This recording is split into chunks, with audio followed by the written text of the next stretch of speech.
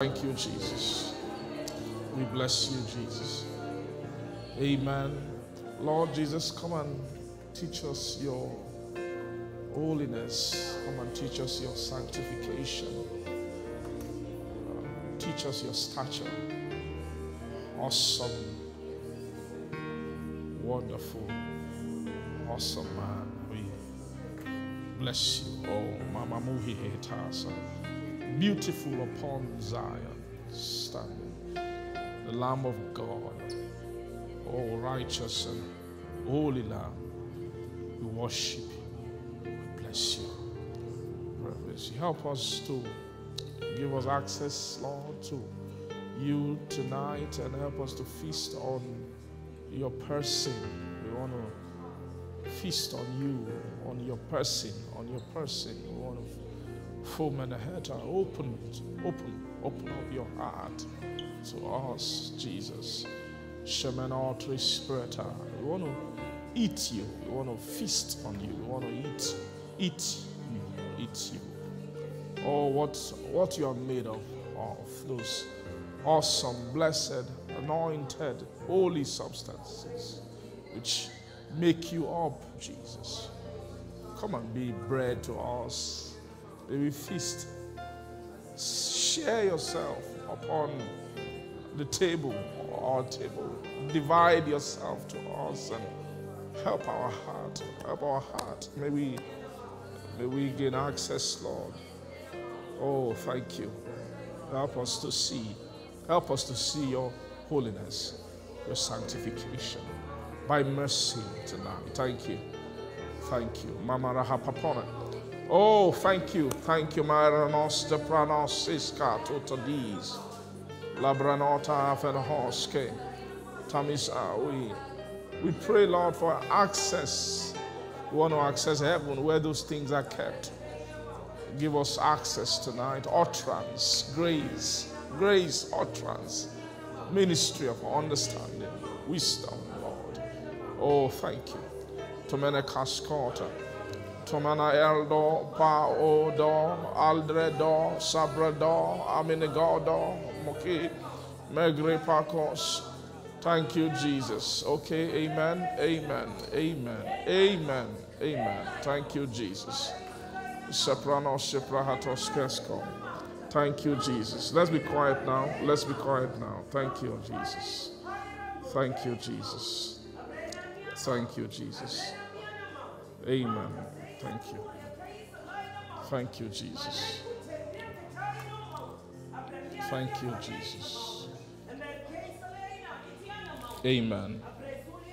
Thank you, Father. Amen.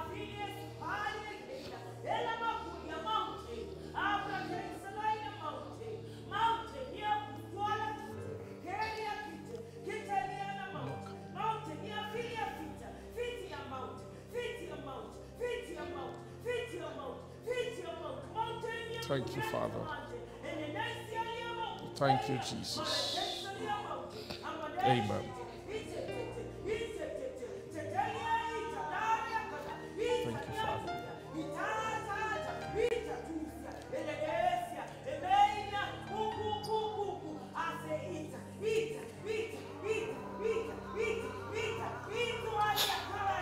Thank you, Jesus.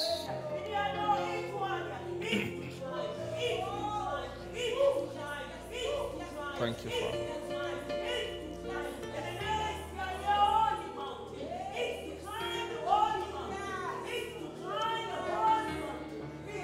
Thank you. Yes. Thank you, Father.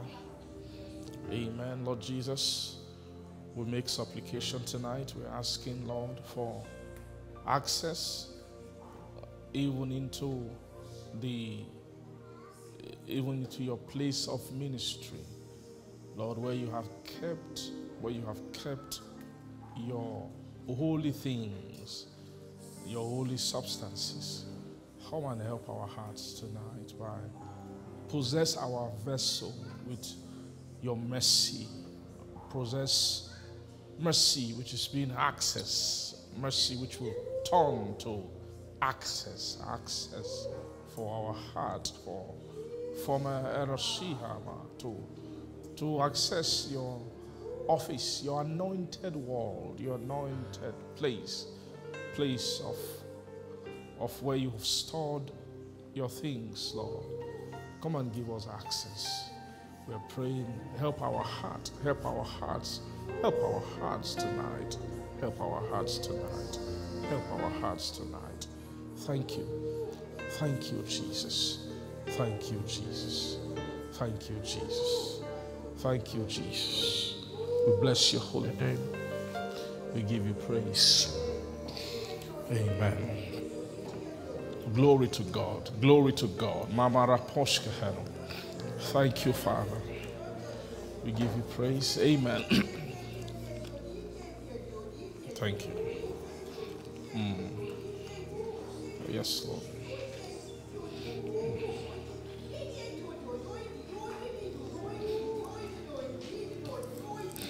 Thank you, Jesus.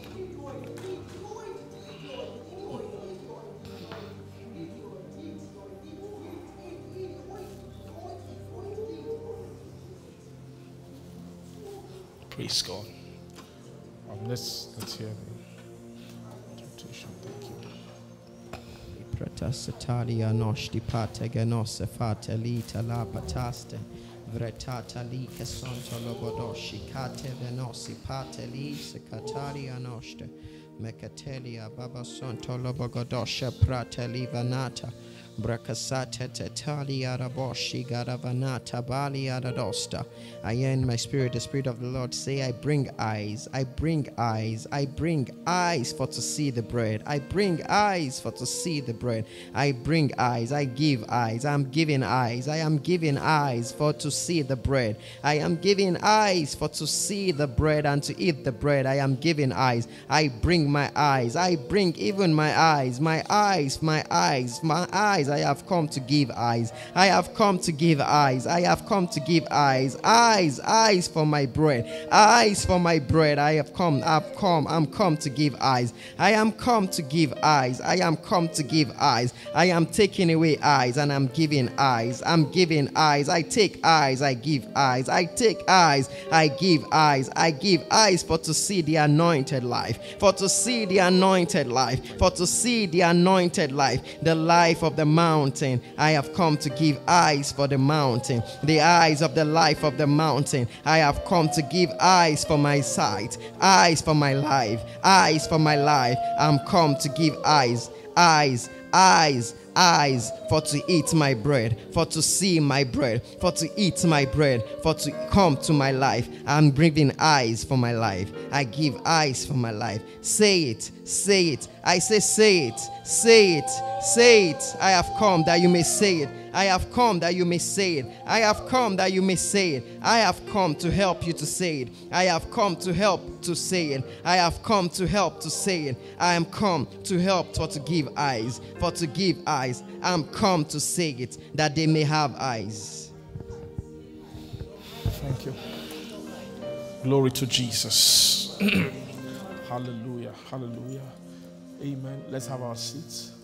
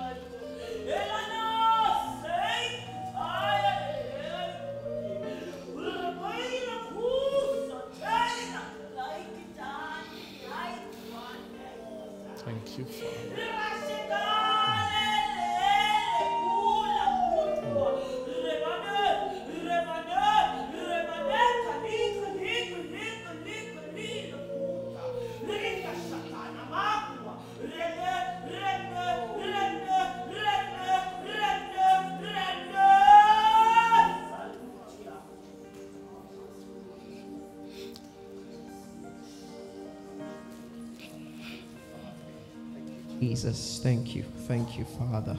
Magatase. Pretevina shikate libavatosi pate ligenota. Fretete bayadoshta. Le papante ketetete. Reti. Oh, makati vrente li. For we have sent, we are sent, we are sent even with our eyes. That the eyes, as we behold the Father and causes us to worship, we have come to give the eyes that you would worship. We have come to give that same eyes, we have come to impact. We have come to impact, for we were sent for to come to give our eyes. We were sent to come to give our eyes. That as we behold him that sits on the throne, and our souls and our heart and everything responds to him that is seated based on our side, we have come to give sight. We have come to impact our eyes. We have come to impact our eyes that you may offer up service, that you may offer up service, that you may offer up service, the eyes for service, the eyes for our service, the eyes for which we serve. We have come to give eyes for you to serve. Just as we serve, we have come to give the eyes for to serve. As we serve, as we see, we serve. As we see, we serve. We have come to give eyes that you may serve. Praise God.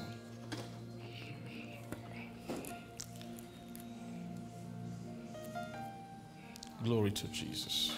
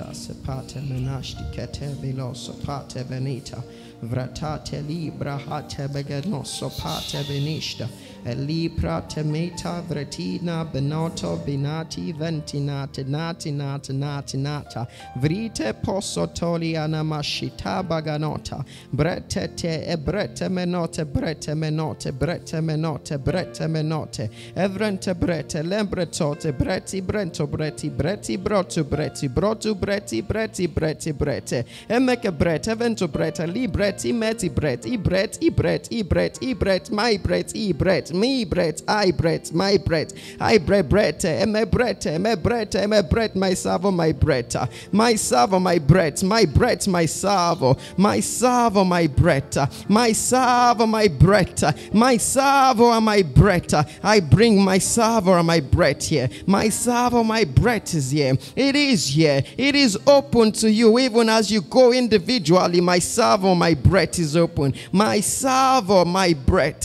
my savo my bread I bring bread bread bread bread for life bread for life bread for life bread life bread my life bread my life I bread bread bread bread bread savo bread my savo my bread I bra bread bread I bring bread bread bread bread bread breath, I bring breath. I bring breath for life. I bring breath for my life. My life, my breath, my life, my breath. I bring my breath. You will begin to see salvo. You will see salvo. You will see my salvo. You will see my salvo. I am bringing my breath and my salvo.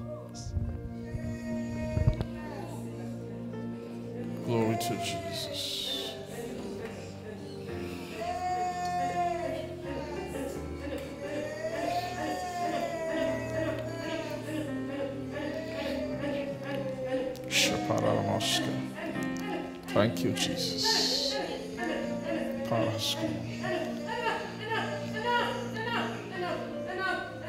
Thank you, Father. Thank you, Jesus. Amen. Glory to God. Fresher Pahano. Praise God. Thank you, Jesus. Amen.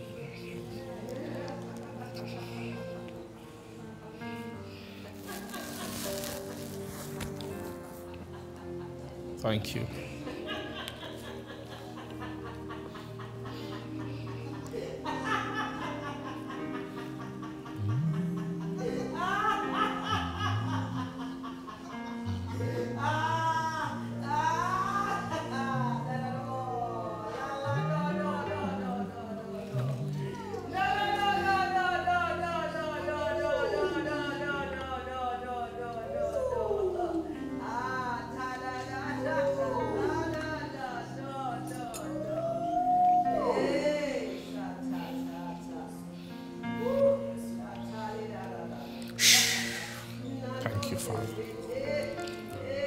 Goma Heraste.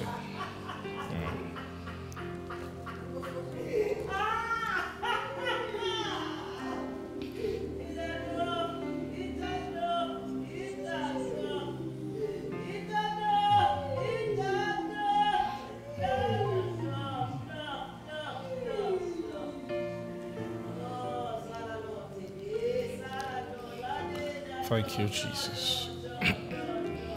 Amen.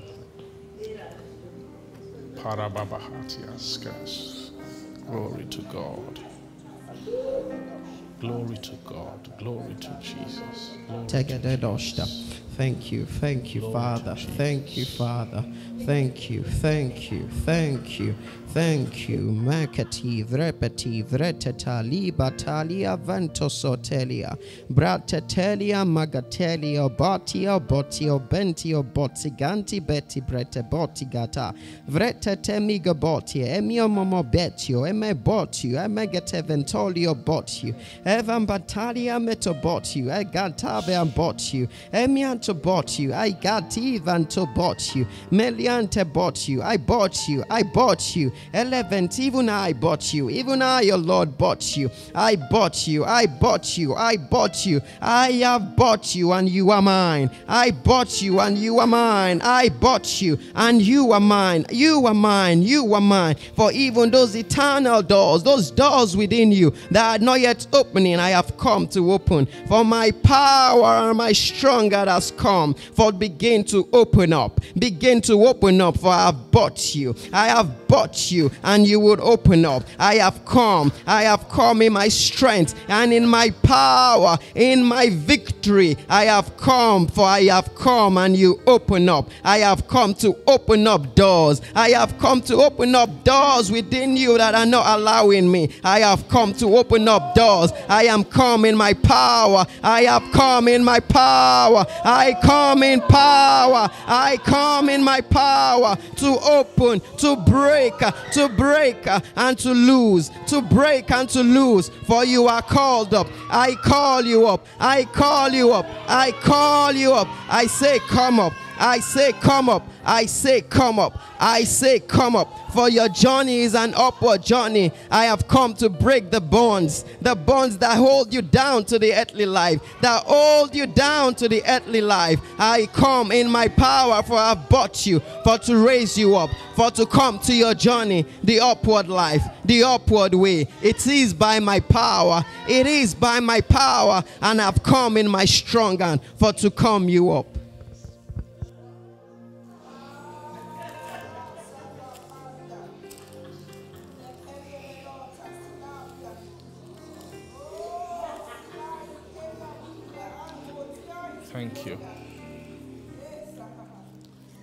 Thank you, Jesus.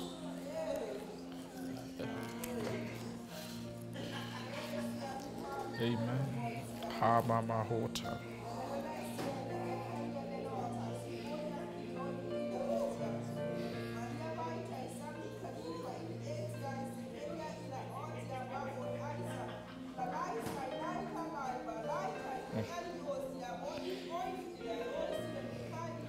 Glory to Jesus. Thank you.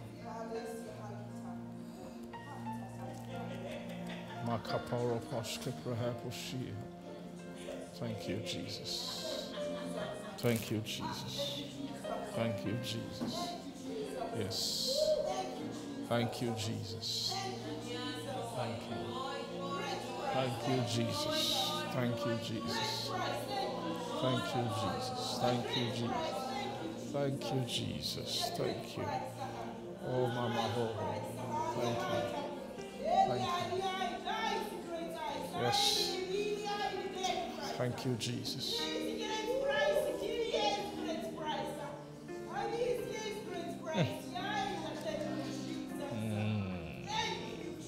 Ah, Papa Balaba Baba Oshke.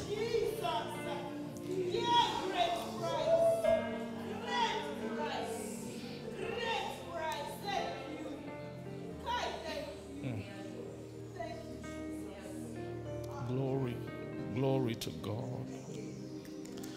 Glory to God. Glory to Jesus. Shapara hoste pohota mokrahamotana. Salibra altas. Hamaho. Thank you. Thank you. Thank you. Ma poste prahaposto pastes. Pasatana hata lu Christo. Sama ishta tos. Talaprosia. Kamanotiha Toma. Thank you. La sesto la prahanota. Tankavaste cover omarov for pos anta luveta zuste.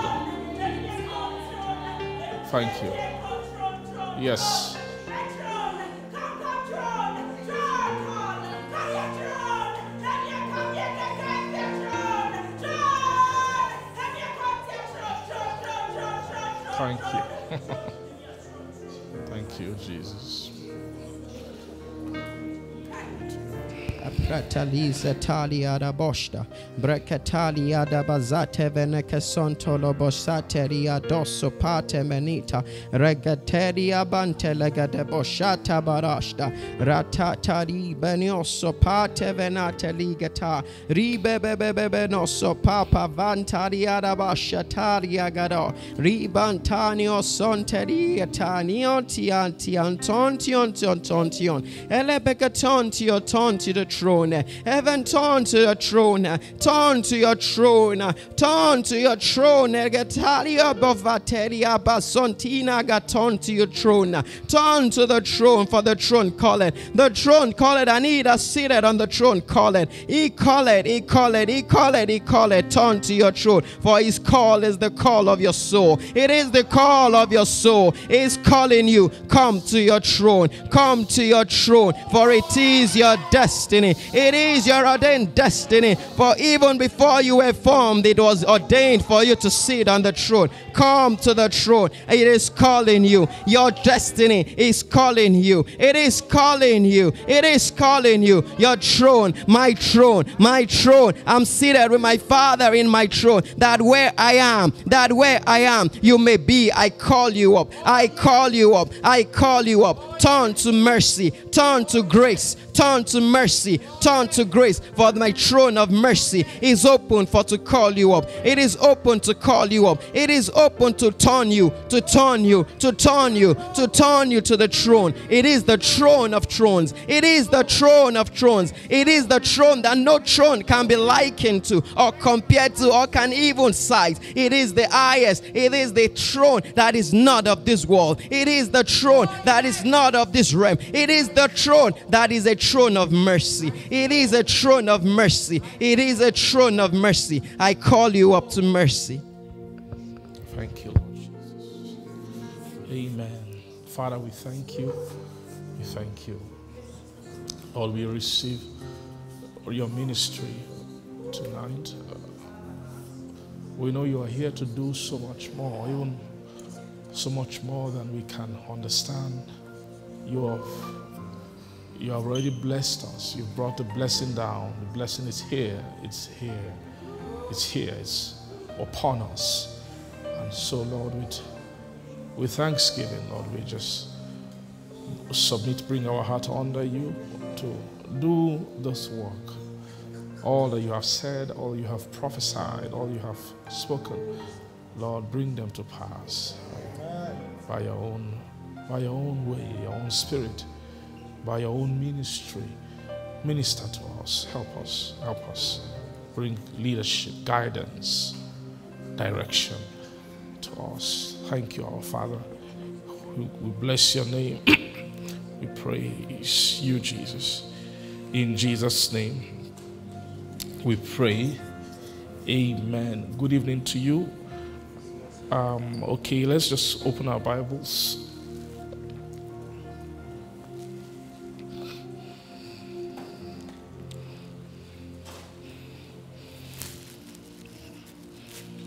Amen. It's I would like to use very hard because I'm seeing the message, but um, there are, there are many doors of access. I don't know. I don't know. Um, I'm not sure exactly how to um, to access it, but um, praise God. Uh, let's see. Let's just let's look at our Lord Jesus um, in Psalm 45.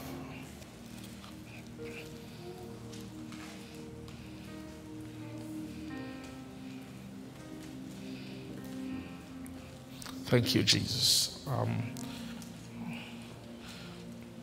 Psalm 45, if you're there, say amen. So, um, verse 6, it says, Thy, thy throne, O God, is forever. Amen.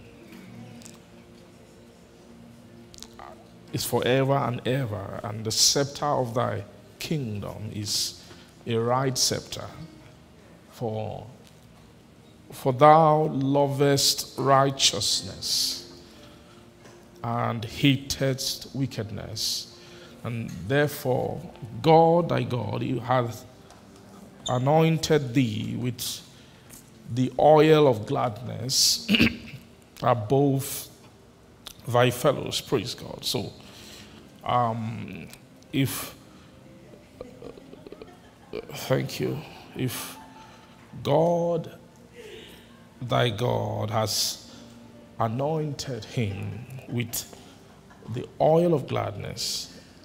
Thank you. It says that that anointing is an oil that is above his fellows. Amen. So it means that he has fellows who are also anointed. If, if not, he won't use the word above. So if you're saying that he's anointed. If you use the word above, above means relative to something that is beneath or something that's some something in this place, some someone or people who he called fellows. Uh, that so he is has come into because of his throne.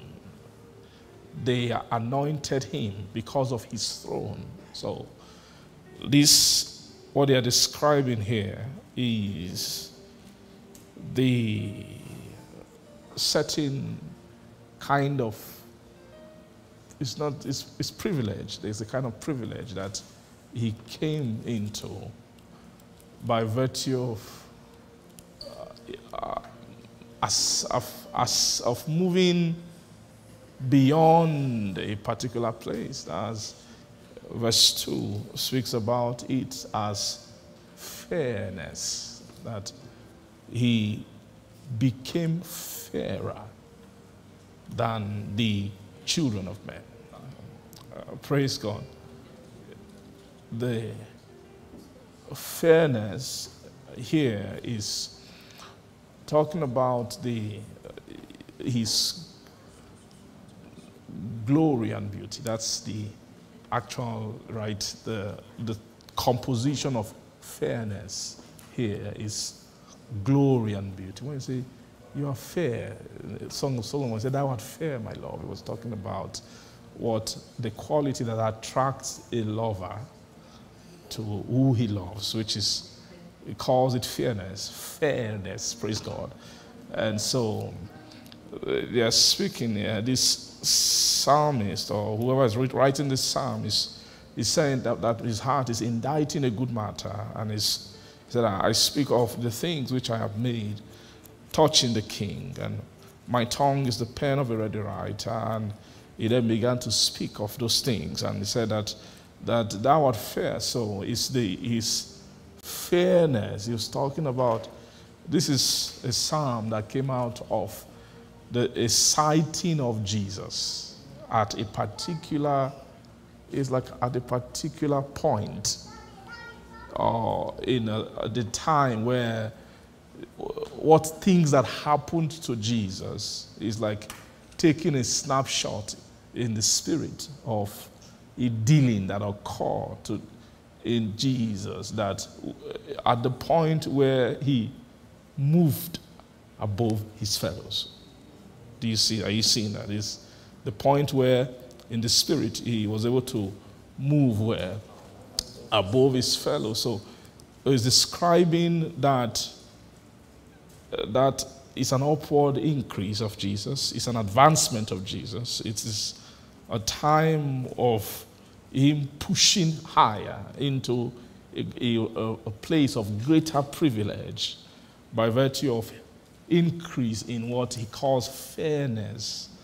So, if I want to summarize the word fairness here, I'll say fairness is appeal to God. The fairness is the appeal of a soul to God. How fair is the soul? And I said that it is has to do with how glorious and how beautiful that soul is. Praise the Lord. So, so here he's speaking about Jesus and verse 2 that thou art fairer than the children of men. So he was speaking about when Jesus became fairer than the than the estate, when he, what he calls the children of men uh, is talking about the brotherhood that is in the in in the nature of man. Do you see that? It's like a brotherhood that is in the nature of man. It's a place where Jesus ascended. He Jesus proceeded from that place out of the and we know that when it comes to the children of man that the fairest, the fairest image of children of men is the image of Christ. Does that make sense? That the fairest, that was the most beautiful a man can be, is Christ. That Christ is the most beautiful, and Christ is the most glorious that a man can be. That a man cannot, a, a man cannot wear anything more than Christ. That there is no more beautiful state, no fairer state of man than Christ. Praise the Lord. But this was talking about Jesus becoming fairer than the what? The children of men. That was Jesus coming into a place of a greater beauty. Praise the Lord. And a greater glory. And it says that grace is poured into thy lips, therefore had God then what? Blessed thee forever. Grace is poured into thy lips, therefore had God blessed thee for what? Forever. Amen. Now, the the, the, the pouring of grace into, into Jesus' lips. No, there's, the, there's a pouring of grace into his lips. It's talking about grace from God.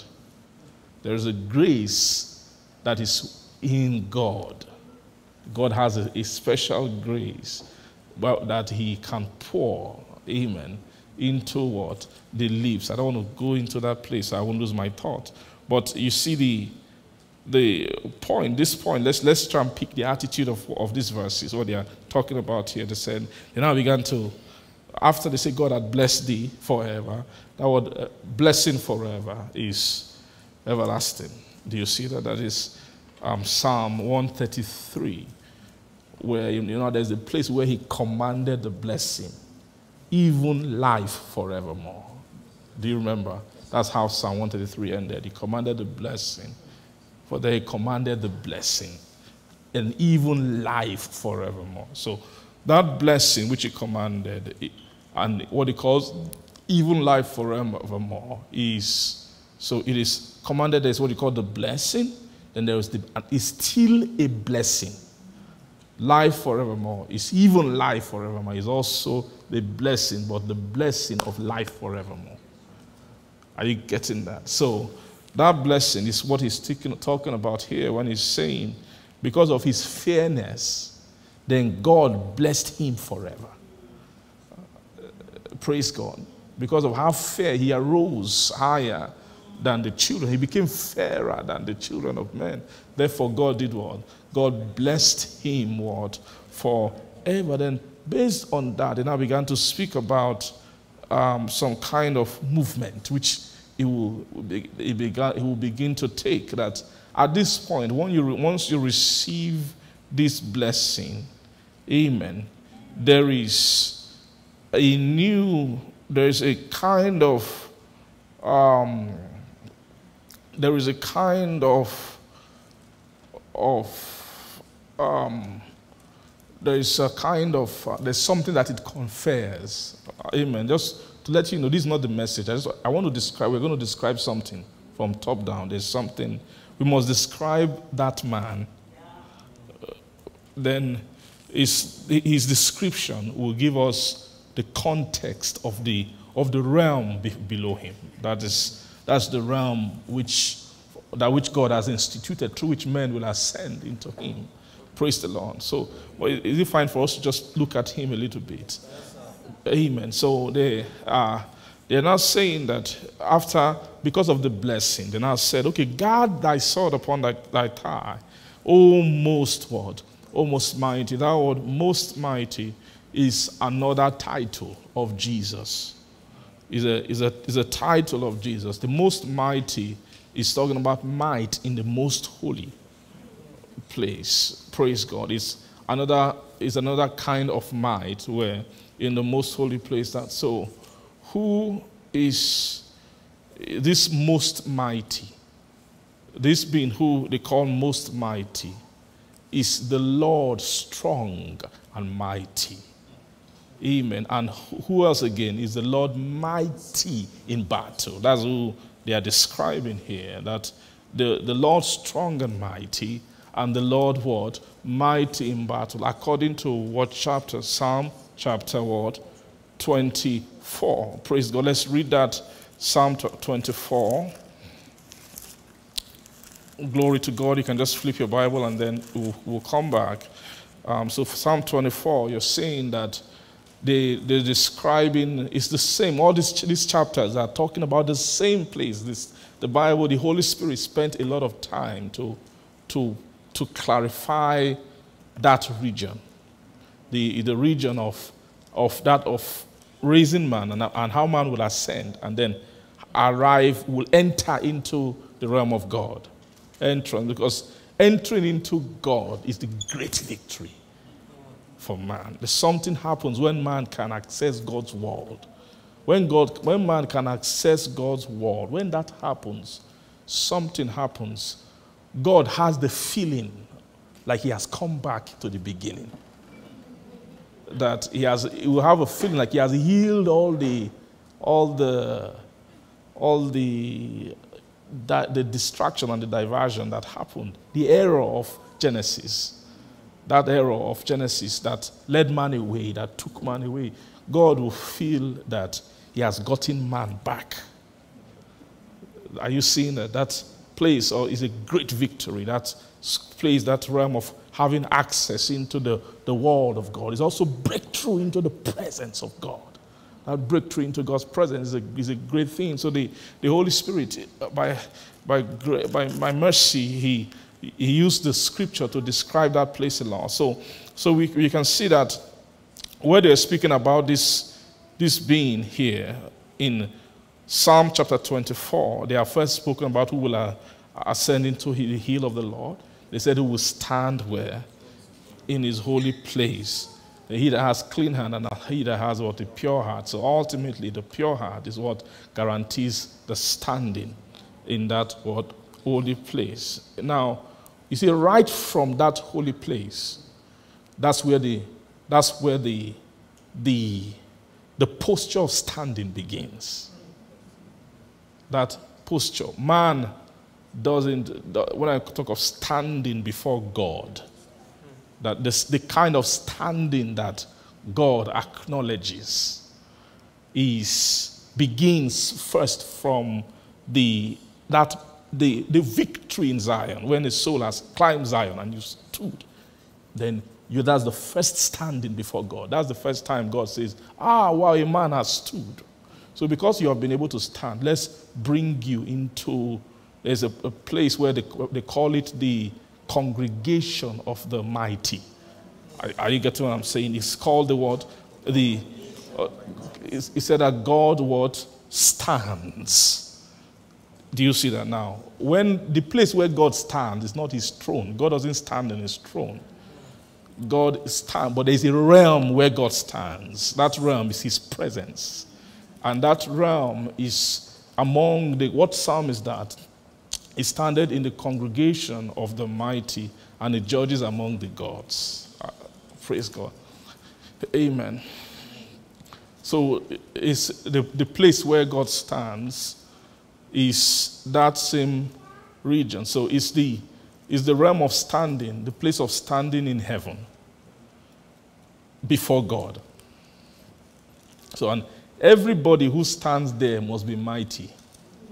Nobody can stand there without being mighty. That's Psalm 82. Read Psalm 82, verse 1. You can read it, please. Yes. Psalm 82, verse 1. God standeth in the congregation of the mighty. Yes. He judgeth among the gods. Among the gods. Praise God. So God standeth in the word congregation. So it means that people who are mighty, that there's a, they, you, when you will, it's like there's a congregation on, on top of Zion. But when you cross Zion and you move into the presence of God, you enter into another congregation who are a congregation of, of beings who are mighty, who are not men, who are gods. Do you, do, are you getting the difference? So, what make them God? They have become fairer than the children of men. That's the place of that Jesus, he, that when he became fairer, he entered into that place. Are you, are you getting what I'm saying? So, so that's why they will tell him that to guide thy sword upon thy thigh. After talking about his fairness, they now began to tell him, okay, begin to gather Saul upon that thigh. Oh, most mighty, you're now mighty. Are you getting what I'm saying? So in this place here, the, now, they now began to speak concerning the um, of course, who are, who ascend into the hill of the Lord and who will stand, right? You see, standing first. So anybody who will stand, God's criteria for admitting souls into his presence is that such a soul, because his presence is a place of beings who are mighty to stand. They have, they have might to stand. It's not easy to stand in the presence of God. Praise the Lord. But the test that man is that God can bring someone into that place is that that person must have first of all stood in Zion. Are you seeing that? It must have first of all done, what? Stood where?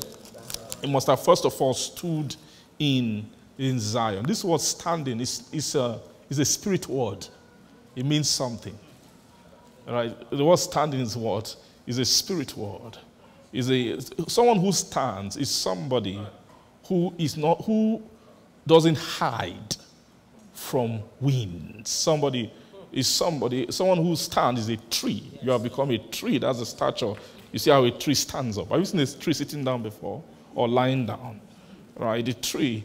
So somebody who has who's able to stand is somebody who has arrived at that place who they, they, they say they will make them trees of righteousness. The word planting of the Lord. That's Isaiah chapter 60, 61 or 62. Amen. It will make them trees of righteousness and then the planting of the Lord that he might be glorified. Praise the Lord. So, so you see that thing called standing. You see, in, go later, go to the scripture. Amen. It says that, therefore, take all the whole armor of God. So, that whole, uh, taking on the whole armor of God is nobody can pick that armor unless you've come, you are mighty.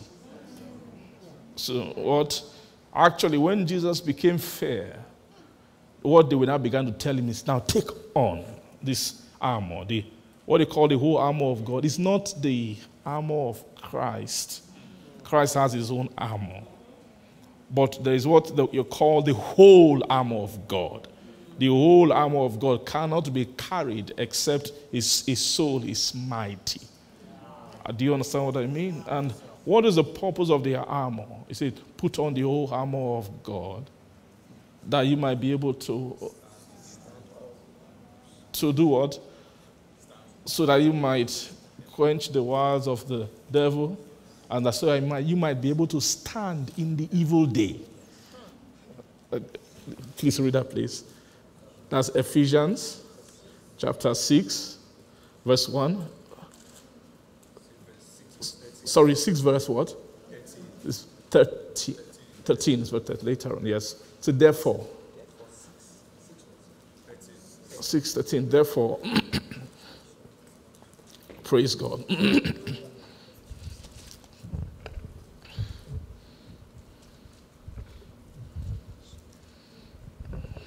um, wherefore, take unto you Wherefore. the whole armor of God. Take unto you, yes that ye may be able to withstand in the evil day. Yes. And having done all, all to stand. To stand. Stand therefore. Stand therefore. Having your loins girt I began about. To talk about. Are you seeing standing? That you might be able to withstand in the evil day. You have to withstand, and then having done all to stand. So there's there are things that there are all there are things that must be done to stand. To stand. There's to stand because to stand in that evil day, the evil day is the day where mighty men show their strength. Men who have who have who have developed might over time. Praise God. Are you seeing all those armor? Therefore, take on the whole armor. Are you seeing those all those things they mention as armor? Those armor to take up the armor is not easy. So that at that time, they are, they are, they are not telling you, go and buy an armor. Or go and, don't just be like that, go and look for armor. Or there's a time when that armor will be, cre- will be created. Those, all those things they mention as the armor of God is a process. That, so the reason for how those armor came about is when that soul was doing all. So it means very clear that the all he needs to do to stand is to acquire the armor. which he will need to take up. So then, wherefore, you need to take up the whole word, the whole armor. So, so you see, that is the exact same thing that they were telling to him in Psalm 45. Praise God. In Psalm 45, verse 2, Psalm 45, verse 2, it says, Thou art fairer than the children of men, and grace is poured into thy lips. Therefore, God has blessed thee forever. Verse 3, it's not telling him, Guard thy sword upon thy thigh, O most mighty. So he just picked a, a particular piece of the armor, which is the what they call the sword of the Spirit, which is the word of God. Do you see that? It's the, the sword of the Spirit which is what? The, which is the word of God. Now, why is he talking about the word of God? is because it's, it's, it's, it's, it's picking an aspect, eh, probably the most vital aspect of the armory, right? Which is the word. It's now a word in his, in his, in his mouth. Are you going to? So, so sword is word. Just remove S from sword. You get word. It's the same thing. Are you getting what I'm saying? So the sword, the sword of the spirit. So sword, S S word, spirit word is the sword of the spirit. Are you getting what I'm saying? So, so sword is word. So that's why right after grace was poured into his lips, they told him, Take up thy sword. So that grace that was poured into his lips is the word of God. Do you understand what I mean? It's the word it's the word of God, right? Out of his mouth proceeded a two edged sword. Have you, have you read that book when they were describing him in the book of Revelation? Later on, after the, in that same season, when he just emerged from the marriage. Do you remember? This out of his, he had a vesture dipped in blood. He had a name called the Word of God. That was one, one thing. I don't know if it's that place, but somewhere they spoke about, maybe it's not there, but we know that out of his mouth proceeded what? A two word, a two-edged sword. Are you getting what I'm trying to say? So they are just the Holy Ghost is just trying, is tying, tying realities in the spirit, using scriptures to, to, to, to create relationship between them. Are you seeing that? So, so this grace that is poured upon thy, his lips is what? So they're just telling you that this sword, which he is should guard upon his thigh, is actually a word which he has. Do you get what I'm saying? Amen. The word tie symbolizes oath, swearing. In the Hebrew tradition, when they want to swear, he put my, your hand in my thigh and they swear. You get what I'm saying? So the sword upon the thigh is the word of oath by which they made, who made the, they made the high priest, right? It was consecrated, high priest according to the word, order of what? Melchizedek. Amen. Praise the Lord. So they made men high priests who had infirmity, but the word of oath maketh the Son, who is what? Consecrated forevermore. So this the grace that was poured into his lips is they were changing his word.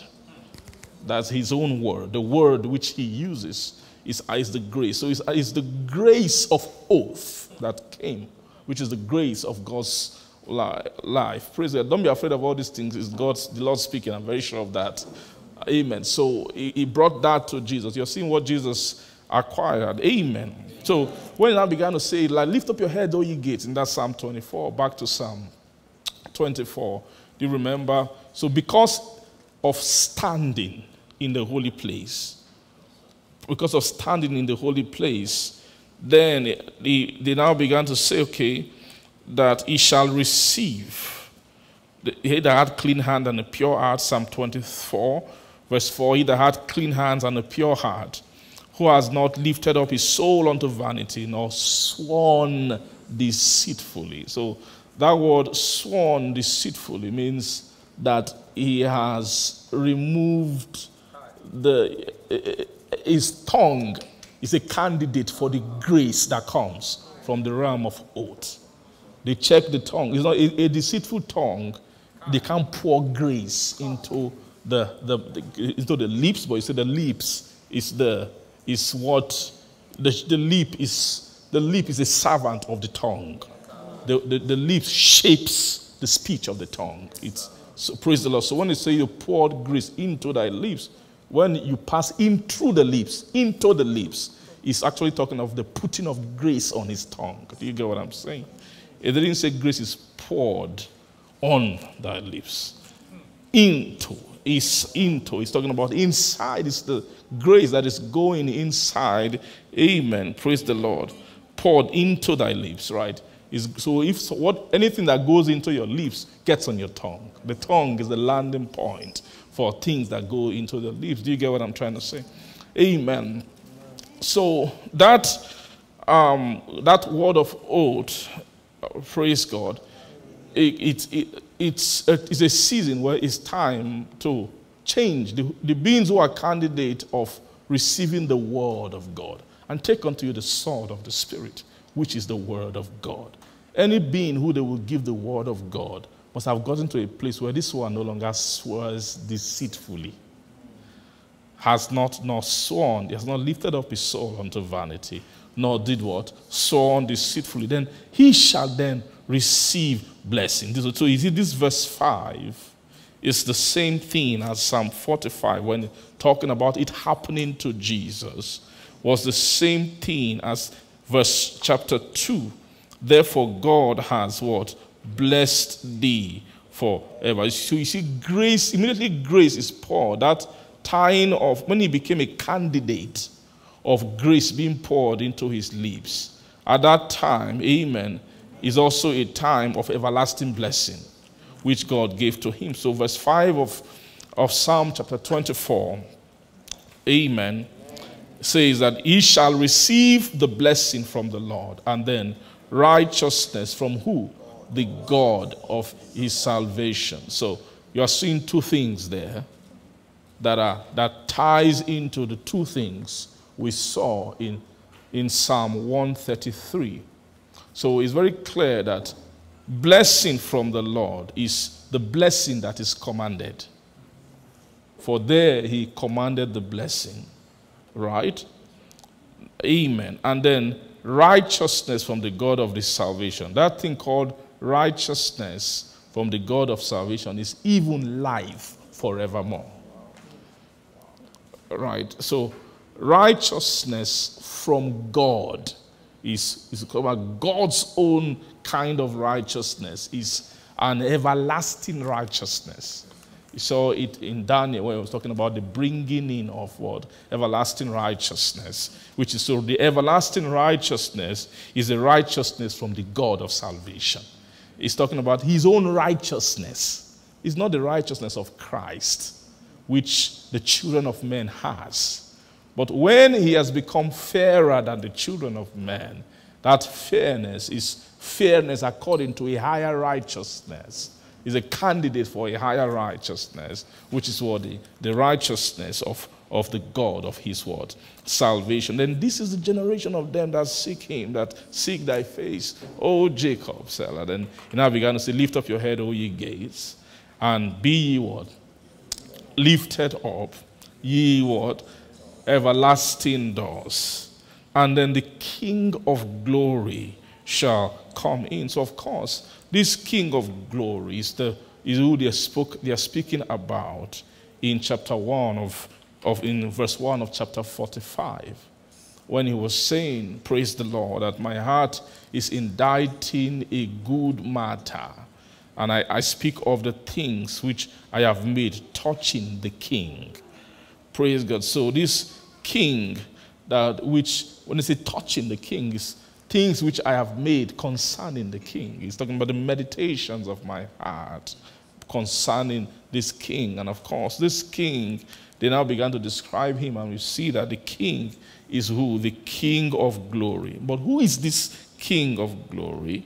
Verse 8 asks the question of Psalm 24. Praise God. Psalm 24, verse what? 8 is asking who, okay, now who is this king of glory? Who is he? Who is this king of glory? They say that he is the Lord strong and mighty. The Lord mighty in battle. Praise God. The Lord what? Strong and mighty. Then what?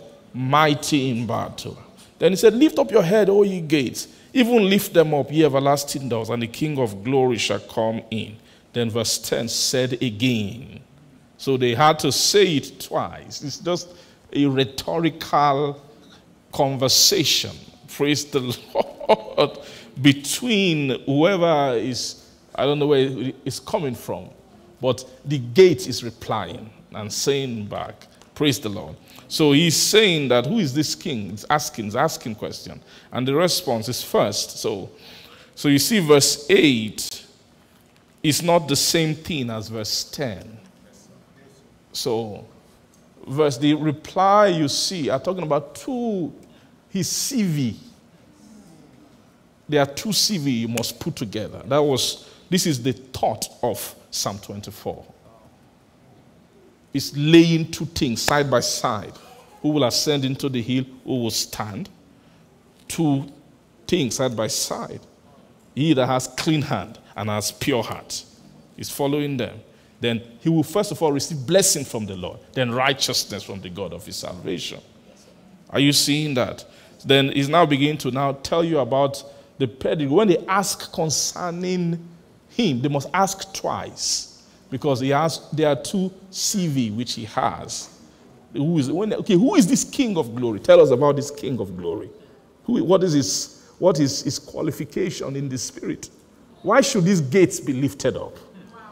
What is it concerning him? What about him should make these gates to be lifted up? They are they now say, okay, we, the gate, they have to ask twice because there are two main qualifications. But they from the from the uh, from the, praise the Lord, if the gate is asking, who is he?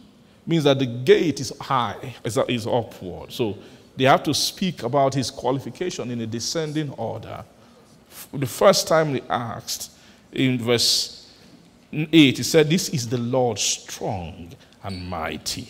The Lord mighty. So he's, he's now saying, This is the Lord, that he is a candidate to, he's, he is mighty. So, and those who are mighty, they stand where? In the congregation. He's a member, he's a candidate of the congregation of the mighty. Uh, do you understand what I'm saying? So, he's the Lord strong and mighty, the Lord mighty in what? In battle. Praise God. Then verse 9 says, Okay, lift up your head, O ye gates, even lift them up, ye everlasting doors, and then the King of glory shall come in. Again, they ask, okay, who is this King of glory? They talk about his, the first qualification is the Lord of hosts. Uh, do you understand me? Is the word? Is the Lord of hosts. He is the word King of glory. So you first, you have to understand that this King of glory was first the Lord of hosts, right? Then after some time, he became the Lord strong and mighty, who is mighty in battle. Praise God. It was first the Lord of hosts, then he became what? The Lord strong and mighty. And so when you say the Lord of hosts, what's the meaning of that?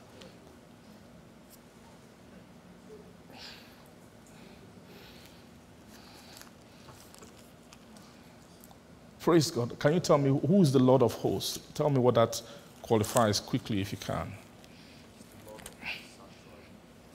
Say it again. The Lord of hosts is the Lord of the sanctuary. Tell me why, please. Because hosts are are beings of the sanctuary. Okay. Tell me why. Why are, why are, why are hosts the beings of the sanctuary?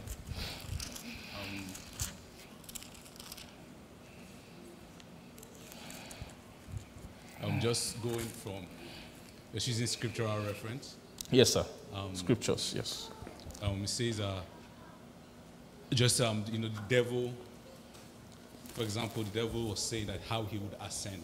Mm. Yeah, and it says uh, he will ascend, um, or they placed him over um, hosts. Okay. Yeah, so it, we just, um, through scriptures, we just know that that realm of hosts or mm. beings of hosts are beings in the sanctuary. In the sanctuary. Yes, and Praise he's the Lord of them. So he's the Lord of beings in the sanctuary. I just want to know just the scripture so we have uh, a, It's think Psalm it's, oh um, 103, right? Psalm 103, yes. That's our uh, that's the scripture we've been we've been Yes. jumping from. We've been jumping from that scripture to Yes. to, to fetch the understanding strength who hearken to the commandments, hearkening unto the voice the of voice of his word. Right. yeah. They now say, Bless you, the Lord, all ye his hosts. Ministers. You ministers of his that do his pleasure. So so his hosts are the those people in that second realm of heaven, which is the the hosts of the Lord are the the occupants of Zion. So who they call the hosts. The ho- when they say the Lord of hosts, that was also you see the same thing from the worship of the seraphims, right in Isaiah chapter six, right uh, when they were speaking and, and uh, concerning the Lord, they were say, "Holy, holy, holy is the Lord of of hosts." Right, the Lord of hosts. So that's the worship of the as He's their Lord. He's in the Lord of hosts. We are they are His hosts. The seraphims are the hosts of heaven. Anytime you hear the hosts of heaven,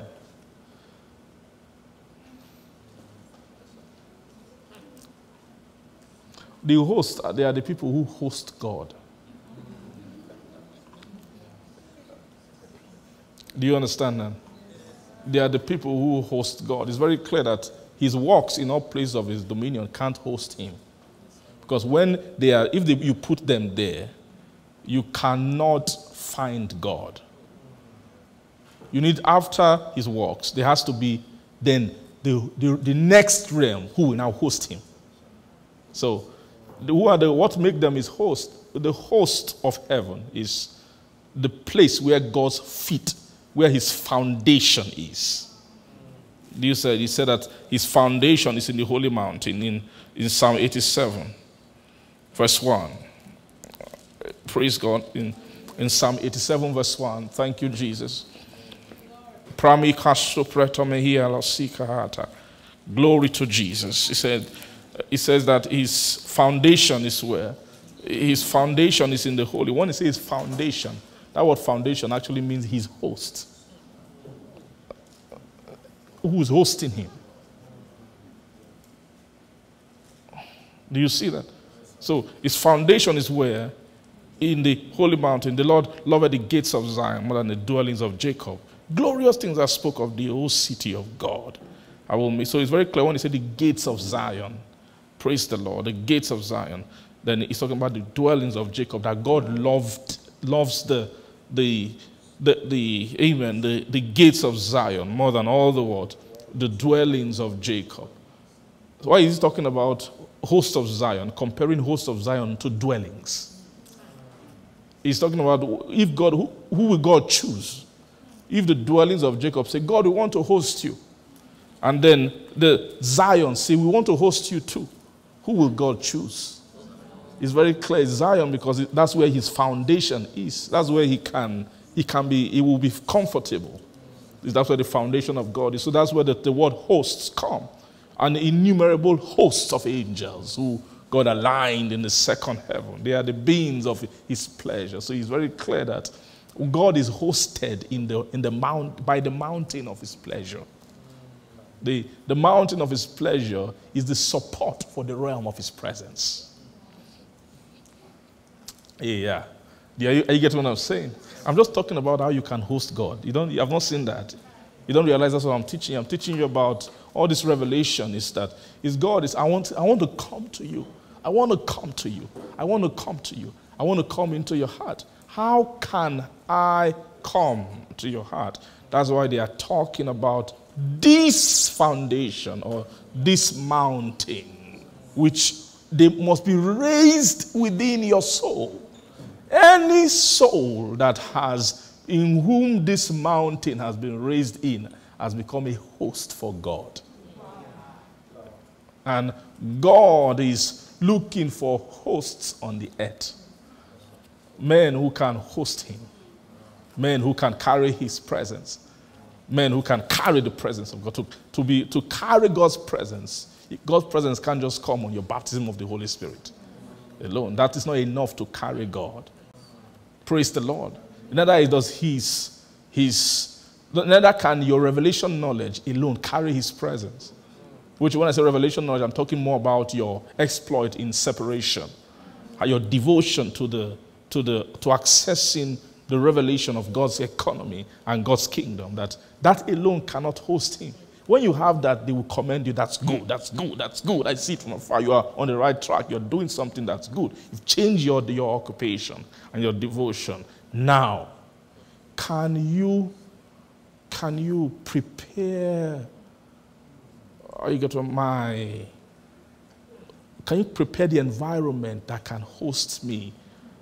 Are you seeing that is the that is the second heavenly nature which the soul must engage in the ministry of that second heavenly place so that when such a, an installation is in a person and it becomes full, then it becomes beautiful. So, what, what is the meaning of out of Zion, the perfection of beauty God has shined? What is the meaning of that? It means that that perfection of beauty, which is Zion, is a place that is hosting God. Where, where God is lodging, that's where He shines from.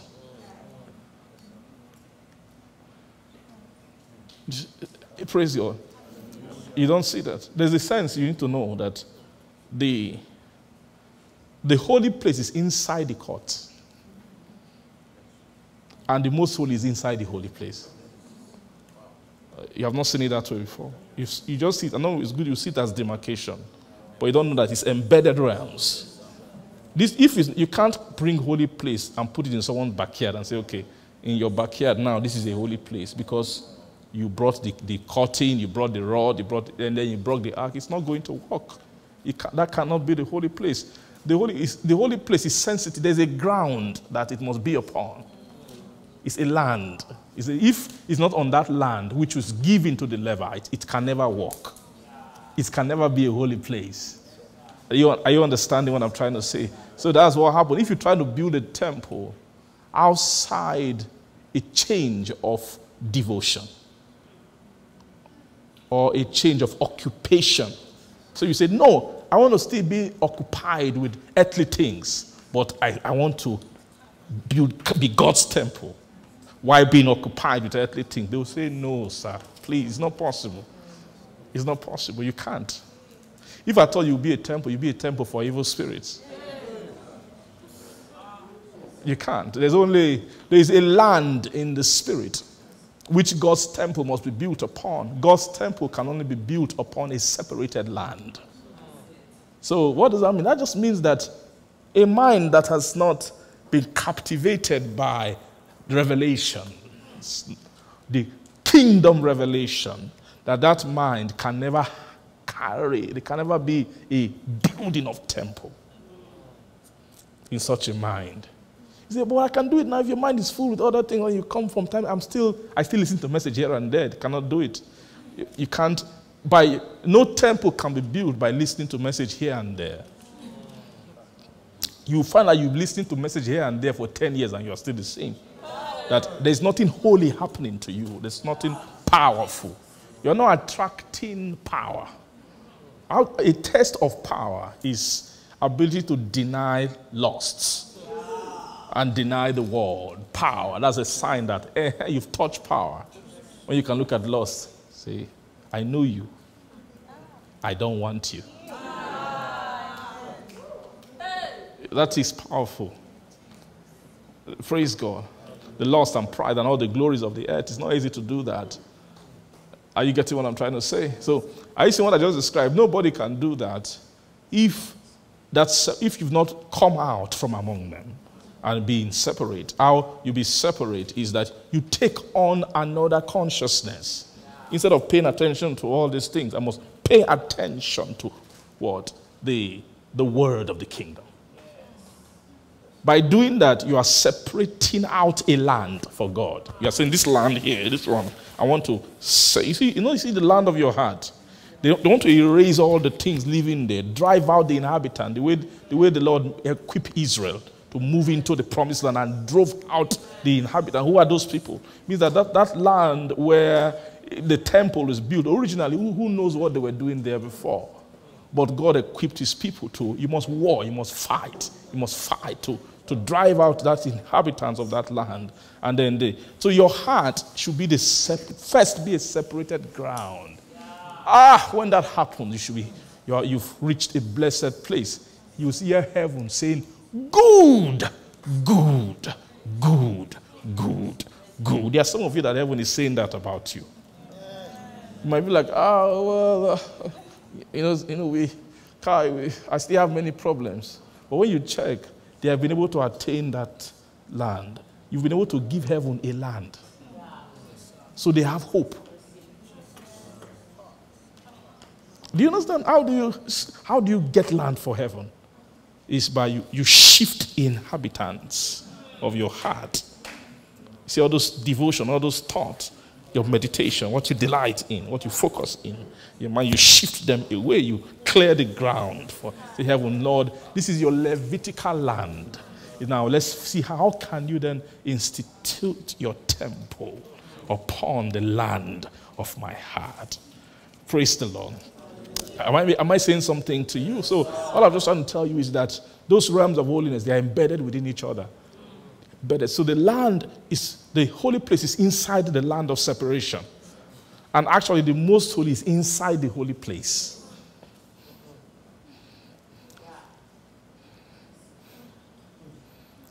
Praise God. So that was why they would now say that out of Zion, the perfection of beauty, hath what? Hath God shined. Amen. Oh, glory to Jesus. Bless the Lord. Thank you. Hey, thank you, Jesus. Thank you, Jesus. Thank you, Jesus. Thank you, Jesus. So in that Psalm 24, so you're seeing that those two CVs, um, just looking at this awesome man, you're seeing that he has two CV. First of all, he's the, he's the Lord of hosts, right? That that Lord of hosts is the King of glory. And also the Lord was strong and what? And Lord strong and mighty. Okay, let's let's quickly just hop back to um, Psalm chapter um, sorry.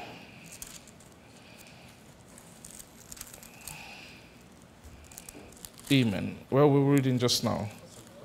Sorry, Psalm 45. The Lord is inditing a good matter. Amen. Thank you, Jesus. So, so you, when you now see here, you see that the so it says when it said thou art fairer than the children of men, grace is poured into thy lips, and then therefore God has blessed thee forever. And then verse three, guard thy sword upon thy thigh, O most mighty, and then with thy glory and thy word, majesty, and then in thy majesty, ride word prosperously because of truth and meekness and what? Righteousness. And thy right hand shall then teach thee what? Terrible things. Verse 5 And thine arrows are sharp in the heart of the king's enemies, whereby the people fall under thee. Then verse 6 now began to say, Thy throne, O God, is forever. And then the scepter of thy kingdom is what? A right scepter, or the scepter of thy kingdom is a righteous scepter, or is righteousness. So you're seeing that all this, this righteousness they're speaking of here is the righteousness from the God of his salvation. It's not the righteousness of Christ. Praise God. Amen. Uh, what is the, this, the righteousness from the God of his salvation. It says, Thy throne, O God, is forever. And then the scepter of thy kingdom is what? A, a right scepter. Verse 7 quickly it says, That thou lovest what? Righteousness and hatest wickedness. Therefore, God thy God has done what? Anointed thee with what? The oil of gladness above thy what fellows. So you now understand there that these, what God, his God, did to him is, is anointing him with an, with, with an anointing that is commensurate with his fairness. So, how, how fair he is, is how anointed he is. Do you see that? You can, is how, the, how fair he is, is how anointed he is. He must be, he must be anointed according to the measure of what is his fairness. So the one he said fairness is glory and what? Glory and beauty. So he's telling you that his anointing, the anointing of him, is according to his the measure of his glory and the measure of his beauty. We began to look at this, this subject last Wednesday, if you remember. We began to, through the book of Exodus, chapter 28, we, we, we saw the concept of, of how this God was giving instruction to Moses. He was saying unto him to, uh, to take Aaron and his sons, praise God. And for Aaron and his, and his sons, we need to ensure that garments are made for them for what glory. Let's quickly read that place in, in Exodus chapter, chapter 28. Thank you, Jesus.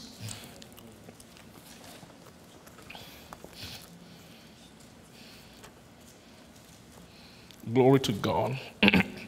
Exodus 28, it says, And then, and take thou unto thee Aaron thy brother and his sons with him from among the word children of who of Israel that he may minister unto me in the priest's office.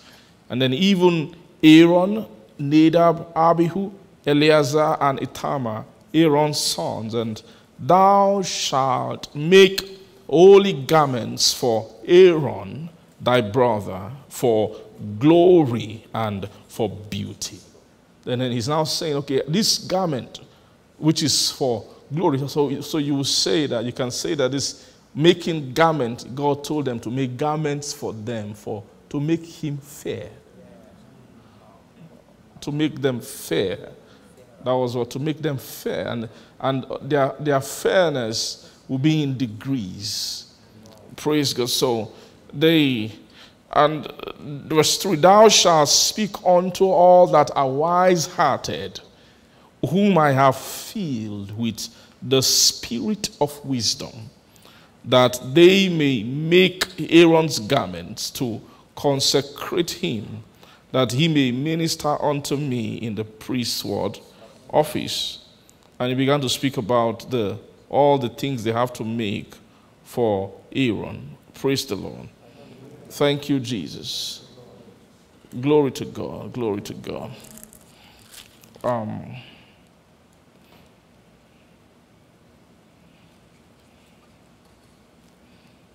thank you. Uh, this is too long. We cannot read all these things.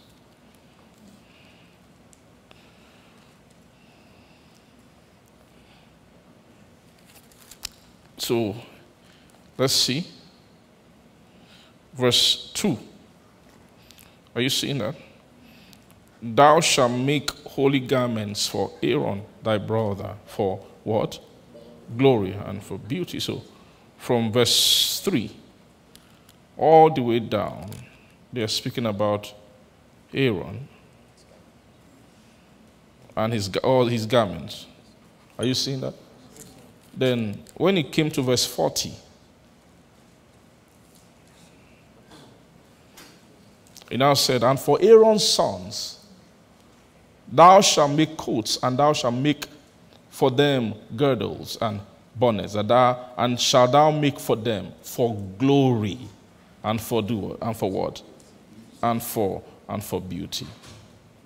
Do you see that? So both for Aaron and for his sons, the garment which is made for them is for glory and for beauty. Now, the, what, what produces what produced that garment is what they call here the spirit of wisdom.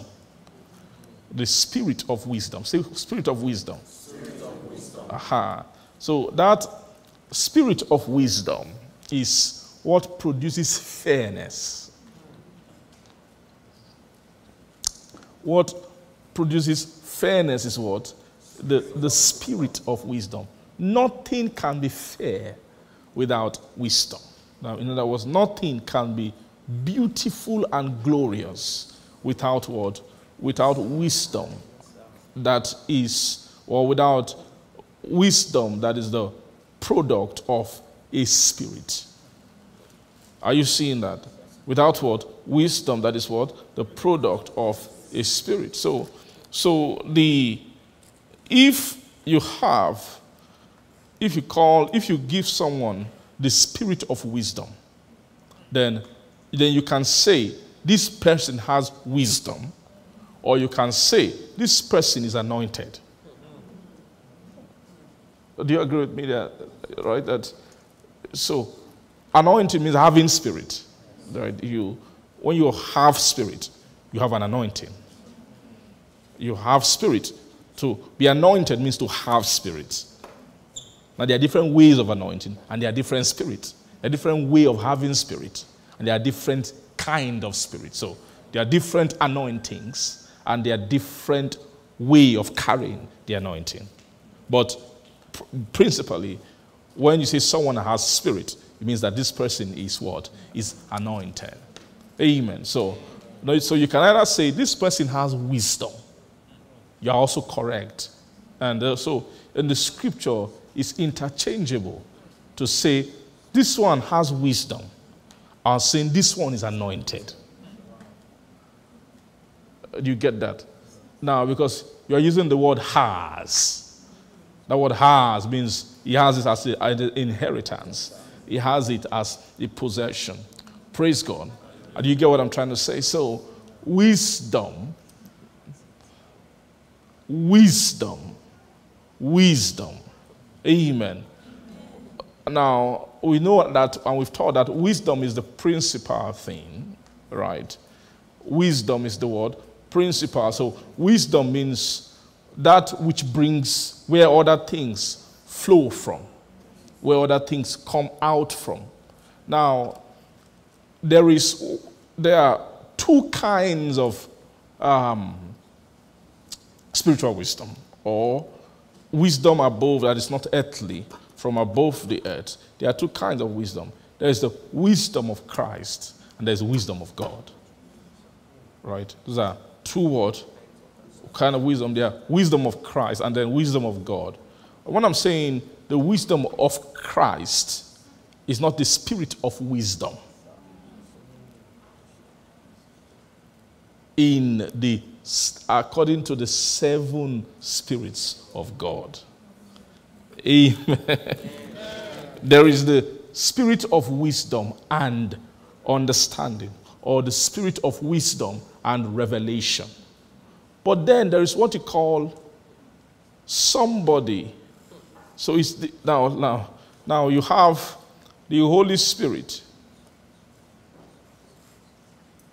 as an entity who, when you find him as an instructor within the sanctuary, as demonstrating as seven spirits who can instruct men, that's the Holy Spirit who is displaying himself in seven attributes or seven attribute spirits of the Spirit of the Lord. That's who? Holy Spirit. That's Holy Spirit. Then you can now say, apart from this Holy Spirit, who demonstrates as seven, you now look at a person and say, this one has the spirit of wisdom. Then they later qualified it wise hearted. It's not, so if a man is wise hearted, He's not talking about the spirit of wisdom, which is the Holy Spirit, which is part of the attribute spirit of the Spirit of the Lord in the Holy. He's talking about what is an inheritance which that being has become. Right? You say this person is wise hearted. So when you say someone is wise hearted, it means that they have wisdom. You also mean that they are anointed. You cannot separate those things. Praise God. So in this place is saying that those who are few, let's quickly read that in Exodus chapter. Oh, glory to Jesus. Thank you, Father. Exodus 28, it says, And, and thou shalt speak unto all that are wise hearted, whom I have filled with the spirit of wisdom. So those who are wise hearted are those who have been filled with the what? With the spirit of. When time you hear the word filled, you mean not that they have been ministered to by the spirit of wisdom, it's that they have been filled. So you, when you say you feel something, it means you poured it inside. You can't, you can't be carrying something and say that, no, I have filled that with it. If it's with you, you haven't filled, you haven't to, to feel it, something with it means you, that thing you're carrying changed its position. It actually left and it, it went into another entity and it was able to stay there. Do you get what I'm saying? So these beings who are who are wise-hearted uh, is talking about stature of the spirit. So when you hear spirit of wisdom, it's not always just talking about the seven spirits of God. There is what you call the spirit of wisdom, which reside in the heart, that make the soul wise-hearted. And when somebody has the spirit of wisdom, you say this person actually is what is anointed. Now, as the principal thing, the Bible says that Christ is made unto us wisdom. There, there is the book of First Corinthians, chapter 1, at the end, right? Of chapter 1 of First Corinthians. Very quickly, amen. Praise God. Thank you, Jesus. Mari kasto brehevina hato. Mati krema osteprieno. Glory to God. The Lord is imparting things to us. Amen. But you know, life feast impartation is different. It's impartation through teaching and through understanding. Amen. So, so there are these things that if this understanding can be crystallized in you, it will just change your, it will tamper with some there will be something that cannot sit inside you together with this understanding. That is like, ah, this understanding, understanding is too powerful. Understanding can cast out evil spirits. Evil spirit that torment you, you just understand. Hey, the spirit will just come, it will just jam an understanding. Yay, we can no longer, this, there's no longer understanding, fill of space. See, by wisdom and house is built. By what? Understanding what happened is established. So that the establishment of a house means that when a house has been established, it can, there's nothing you can do anymore. It's not, um, praise the Lord. Amen. Amen. Then by knowledge is I its word. Its rooms are filled with what? Huh? All precious what? Amen. Thank you, Jesus. Glory to God. So when spirits come to the, when you see spirits that always come, you know, spirits are, they, they pump suggestion. And a lot of times suggestion is not just thought. It can, it's just something that you, the soul inward man will just pick it up. And before you know it, you're acting in, in line with it because it's, it's spiritual, it's quick. You cannot intercept it. It's hard to intercept. That's why it's not everything that you are tempted with that you have the time to say, should I do or not? No. A lot of time there are impulses. You live by impulses. And those impulses are quick because they are, they are they're fired by spirits. So we just fire things from their nature into our, our being and we begin to act and begin to do all kinds of things. Praise God. But there's a way that the spirit, when He's coming, is trying to land. we find out that that space, which is normally lands in, is because there was a gap in that space. So that's what gave him a landing point. But after a while, he can understanding will fill it up. See that, that when it's now coming, the spirit will jam an understanding. Hey, because when the understanding is there, there's no longer space for that kind of thought. Do you understand what I'm trying to say? Uh, huh? There was a time that the, people thought the world was flat. When they discovered the world was round, there's no longer space for men to, to, to believe that the world is flat anymore. Do you get what I'm trying to say? And for, for many of us, we have many of those things. You, you strongly were your things that were your reality before, but one day, hey, you just see, wow, not be so this thing, Bill. Oh. By the time you just see that thing, this is not what has happened. A door has been sealed forever. you can never come back to that state again where you live as though it was that way because an understanding has, has come into the heart to seal that place. Are you getting what I'm saying? So, so all these things, well, the things you don't know which spirit the, what you are learning is resisting. You don't know. You actually don't know. You don't know. You don't know these thoughts that are, the Lord is teaching us to you is just because we don't have use for them in our normal life. It doesn't mean that they are worthless. These are great pearls. For to find a soul in whom this knowledge sits in, it's a, it's, you are a treasure. You are, you are a container of precious things upon the earth. Are you getting what I'm trying to say? But it's like you don't know that just knowing what you're knowing today, you don't know that because of this knowledge, you don't know what evil spirits can no longer land anymore. That's why you see how your change happens. You can't tell when you changed. It's when you now look back, you now realize there's some things that you normally do. How many of you know that? How many of you, every single thing that you've changed, you've changed out of, you calculated and you know the exact day that change happened? Tell me. Raise up your hand if you're like that. Because if you're like that, it means you must be very slow. very slow. You know why? Because you see how heaven is full of multitude of angels and beings. That's how their natures are in multitude. You can't number them. And, and that's how they fill us with things. So if they have to, you have to think about all your weaknesses one by one. Say, okay, today I won't do this. And that's why you will be too slow.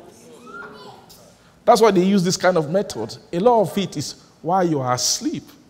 By sleep, I don't mean you are physically sleeping. I mean, while your conscious mind is sleeping, right? You don't, your consciousness is not, is not aware. They can pump things inside you that is fighting war against Satan. You can be walking around in the supermarket, a revelation that was inside you is making war against impulses of spirit, fighting war against suggestions.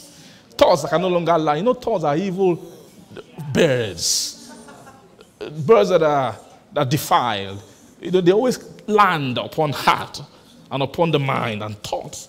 But after a while, have you noticed some, there's some, how many of you have experienced that some thoughts that always occur to you, you fight every day, after some time, you just know, you wonder, where is that thought? You actually forget it. You actually forget, where did the thought go? Something made war with it.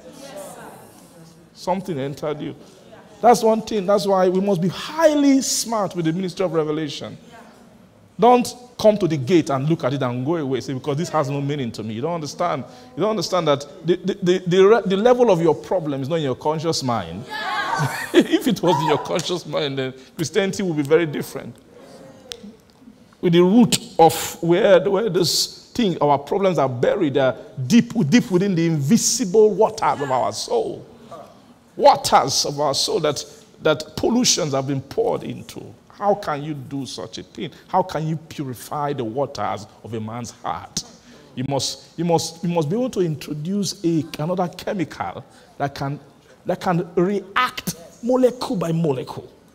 Many of you, when you see a chemical reaction, you can see all the molecules, what they are doing? But when you are titrating, after a while, you just say, it just turns red. Why did it turn red? How did all the molecules agree to turn red? You don't know, but you just saw the color. But you don't know that when you can actually do the calculation, that one hydrogen plus one chloride, when you're doing titration, is an acid. Let's say you're doing hydrochloric acid, you're trying to titrate a base with sodium hydroxide, with what? Hydrochloric acid to give you salt and water. You're, the molecules, you can do the, the calculation on paper, but you can't see how it's occurring. That's the same way we can read the, the, the revelation and ingest it, but but molecule by molecule is dealing with sin and, and dismantling the installation, praise the Lord, of what God has done. Amen. Amen. Thank you, Jesus. Glory to God. Glory to God. Thank you. So he's saying that Christ is made unto us, first of all, wisdom. That's the first thing. So it's very clear that this wisdom, sorry, this first Corinthians, yes, verse 30, but of whom are ye in, in Christ? So and it's a lot of times in the scripture, when they put the word Christ before Jesus, normally it's Jesus Christ. Jesus, the anointed one, Jesus Christ. So a lot of time when they say Jesus Christ, they're talking about the person. Just that man, Jesus Christ. Jesus who became the Christ. But when they are now saying Christ Jesus, Paul uses that a lot. Is that he's now saying the anointed one who is Jesus. They are not the same. When they say Jesus, who is the anointed one, they're talking about Jesus, but he's anointed. That's it's Jesus. But when they now say the anointed one, who is Jesus, they identify him too. But it means that what he wants to talk about a lot of times is actually about the anointed image, the anointed nature in him. So most times when they say Christ Jesus, since we already know who Christ is, we can still remove the Jesus at the end and just say Christ. Praise God. So what they are saying here is that the stature, the image called Christ, right, who of God, of God is made unto us wisdom. So when they're saying that, ah, he's been made unto you wisdom, they're not talking about the spirit of wisdom and revelation. He's talking about the stature of wisdom, which they've given to you as what? An inheritance. So wisdom, then, and righteousness, and then what? Sanctification, and what? And redemption. Okay. This is everything here is all wisdom. Now, can you, are, you, are you seeing what I'm saying? Are you seeing my sense of what I'm saying? It's all wisdom. But when they're saying it's wisdom, they now began to add and. And so it's wisdom. If you separate wisdom, you will now see that the other things they mention are the, the, the journey of all wisdom brought. Right? Is the progression of what? Of the dividend of wisdom. First, righteousness. Then there's righteousness, which is not yet sanctified. It's very clear this righteousness here, without sanctification. Righteousness without sanctification is separation. Do you see that? That, that first righteousness there, you cannot call it sanctification. Amen. Then that sanctification, like when they were describing the kingdom, it says first righteousness, peace, and joy in the Holy Ghost. So you're seeing righteousness that becomes sanctified. Then it is sanctification that opened the door of redemption. Are you seeing that? There's, there's, there's redemption. Redemption are in two phases.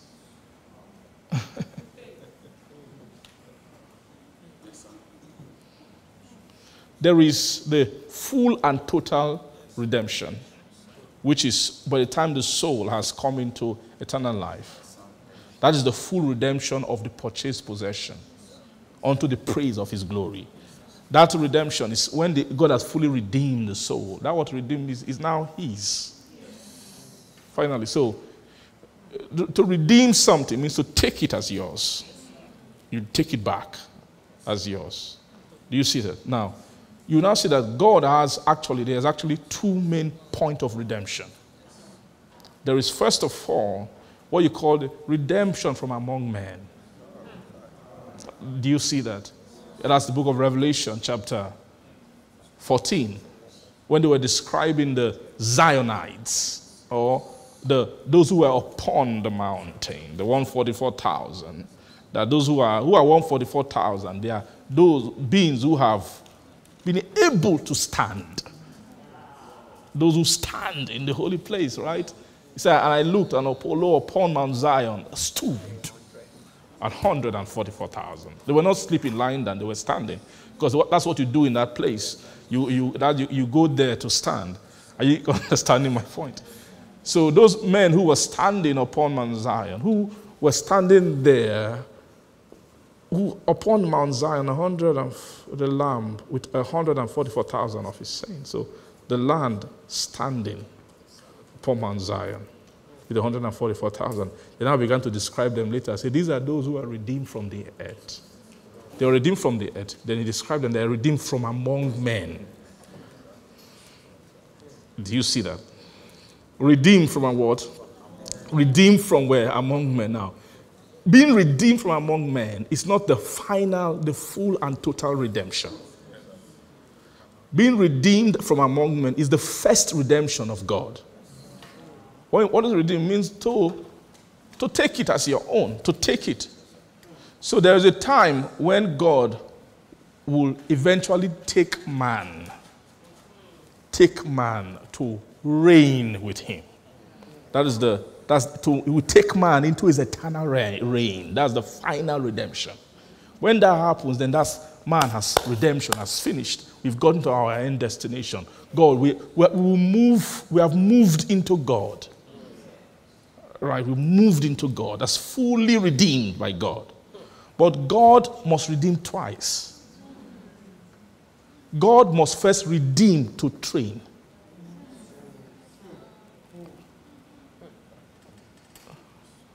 He must first redeem. So, to redeem a man, God cannot redeem a man from among men into his eternal realm. Because when someone has been redeemed from among men, and now what being redeemed from among men is what makes you redeemed because you become fairer than the children of men. You've, you've come to a place of fairness above men. It's by a heightening of beauty and a heightening of glory that does that. Amen. So when a soul has been redeemed from among men, they now they, they are redeemed to stand in the presence of God. In that presence, also, you are redeemed into God's presence for development by God. Then God develops the soul for the full and total redemption, which is redeeming souls back to his eternal life. Is what is, um, praise God, is eternal life. Do you understand what I mean? So now there's a redemption which Christ has been made unto us, which is the end dividend of Christ. So this redemption that the Christ has been made to us is the, is the final redeemed state that Christ, it's like it's, it's what Christ wants to push you into. It's a journey. It's actually dealing of wisdom when they want to install wisdom, stature of wisdom inside a person, is to first of all make you righteous, make you sanctified, and then be make you redeemed. Is so, so Christ is Christ is the redeeming tool. Is the Christ is the tool of the first redemption. The Lamb is the tool of the second redemption. That's why when Christ produced the 144,000, he, he pushed them into the company of their final Redeemer. Do you get that? That was why they stood with the lamb. The lamb is actually the, is the, the lamb is the, is the being who is configured with the step of, of the, the redemptive step. Redemptive step in the presence of God. Every step of the lamb in God's presence is redemptive.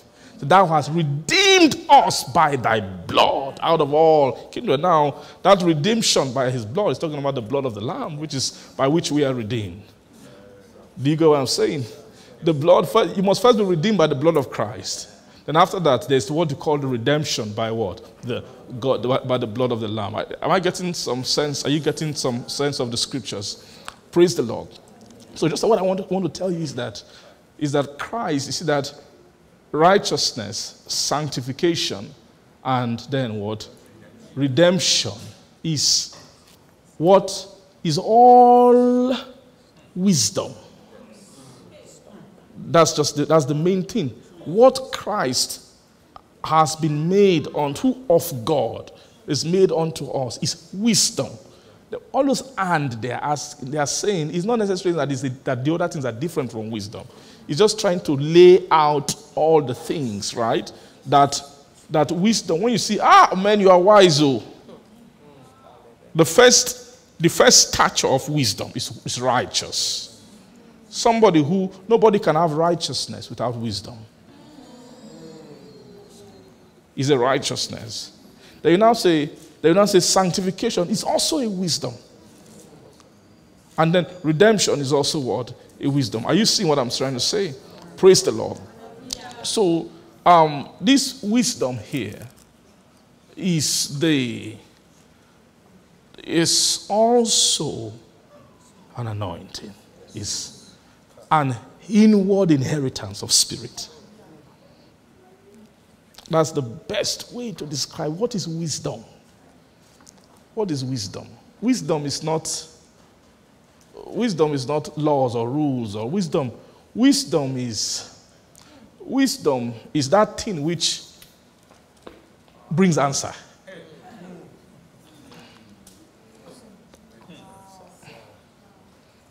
Do you understand what I mean? Wisdom is spirit. Wisdom is what? Is spirit. Wisdom is spirit. It's the anointing, that wisdom is the is the inward inheritance of spirit. Is the is the marriage of the fabric of the heart to spirit. When the fabric of the heart marries spirit nature, it amounts to wisdom stature.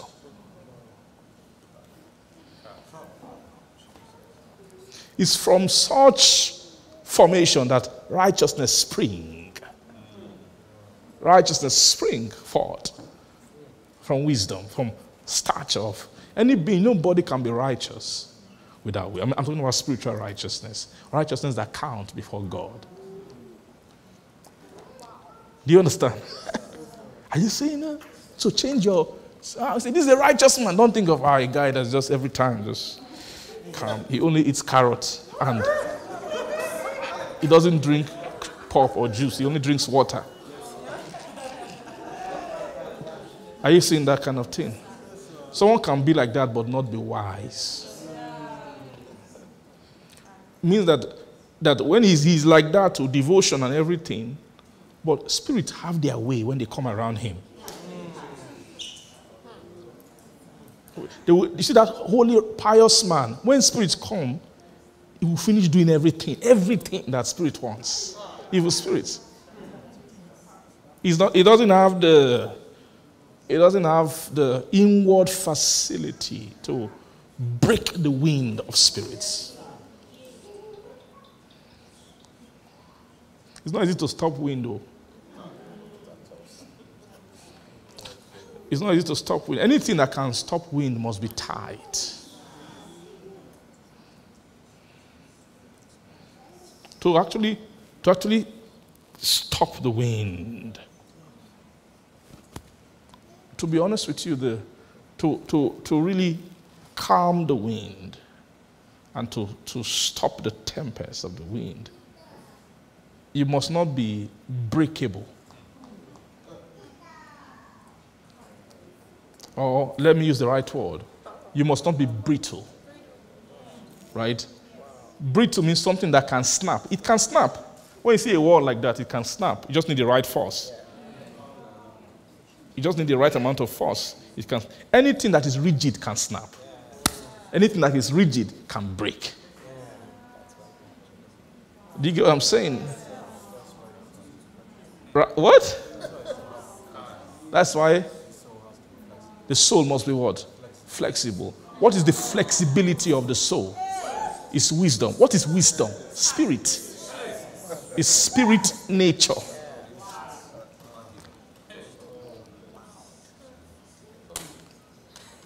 It's from such nature you see righteous. You just see a being is defeating sin every time, every time. Spirits will become baffled. They'll be wondering, what kind of thing is this? Like imagine Jesus of Nazareth, just a young boy, like what? Why can't you do what other young boys do? What? Why? Because something was happening to him. Something, they, were, they were training, training, training, training was, was it's very clear to you that Jesus Christ was filled with wisdom before the you see baptism of the Holy Ghost.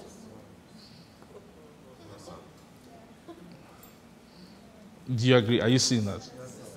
That when I say filled with wisdom, I mean his heart. They, they were, they were, he was undergoing through training right from when he was young to make him wise hearted. It's not one day, it wasn't that he appeared in Jordan, Holy Ghost came and he now began to talk with wisdom of the Spirit or began to act with it. You know, the, it took him decades for them to create the fabric of wisdom. That spiritual uh, nature that can, you, you see Jesus, they are, they are talking to him, he, he will be catching thought. Catching thought. He can, he can discern them. They are naked. Who, because of the dexterity of his inward nature, he's able to, he's not, eh, praise the Lord. You know all those questions of Pharisees, they are meant to break him. But, but rather, when, when they throw it at him, he will catch it. When they were trying to, to make him fall, when they brought the woman caught in adultery, all those things they were doing is if you bring, bring a, a brittle, a straight, hard man and then put him in that situation, he will fail woefully. He will fail woefully. He will fail woefully. He will not know what to do. He will not, he's not able to extray the spirit import of their their question, their conversation. He will be too, his mind will be too possessed with doing the right thing. You, you see that thing? Doing the right, no, no, no, this is right. This is right, this is the right thing. She fornicated, she did adultery. See that thing? That thing, that thing is not righteousness. Righteousness is Hey, righteousness comes out of the fountain, it fountains from wisdom.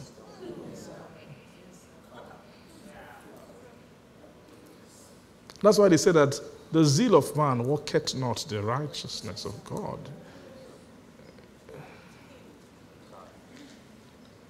He worketh not the righteousness of God. There's what you call the righteousness that is of faith. Faith is, is spirit. Faith is spirit. Faith is spirit. Faith, a faith. Touch. So righteousness is of faith. Faith is substance of things hoped for, evidence of things not seen. So it means that when you, you, you, you ask a question, a, a moral question to a man of faith, it doesn't, it doesn't calculate, it doesn't, that, that, the answer doesn't bounce back out of his rigid moral wall. But rather, he takes that question, he moves it into the unseen. Do you get what I'm saying? And then he will, he will query the unseen for an answer. That is spiritual wisdom. That was how Jesus was. It's very clear that Jesus' thought was different. He was pulling things from another, from another place.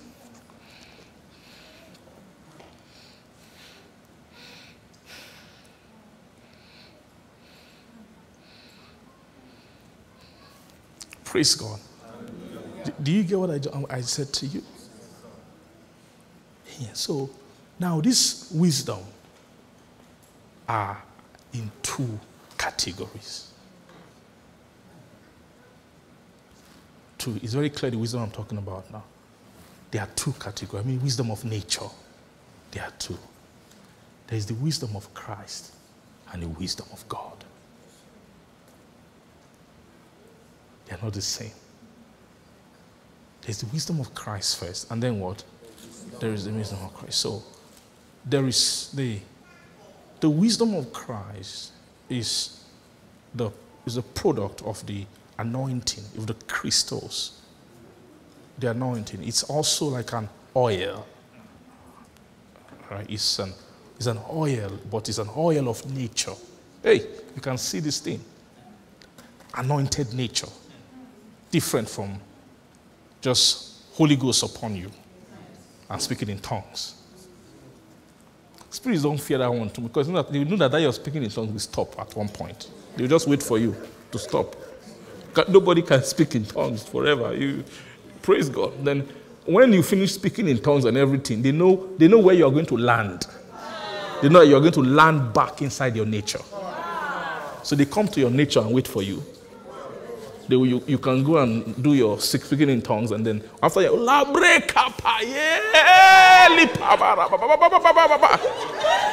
when you finish, you heat up everywhere, fire everywhere with tongues.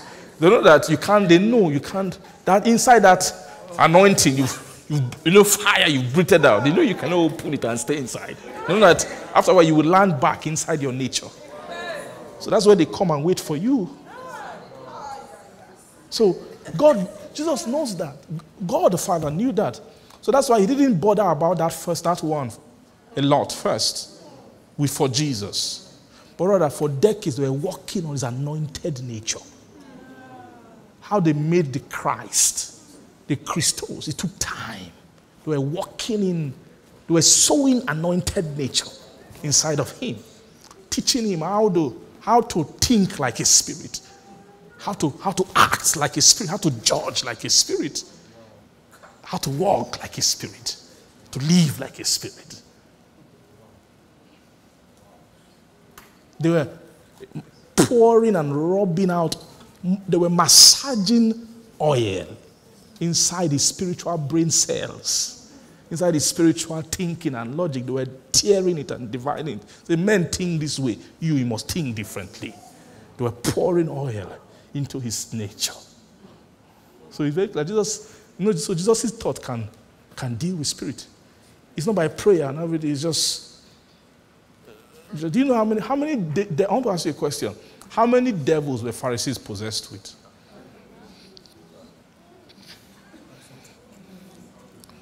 Huh? That's just demons. Not, I'm not talking about the spirits controlling them.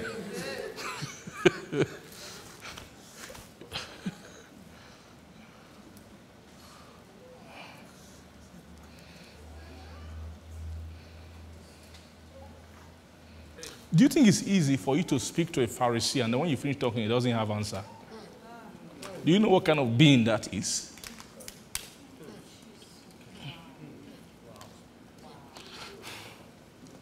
That when you, you finish, they didn't have answer. It means that what you said was able to seal the lips of the spirit that talk through them.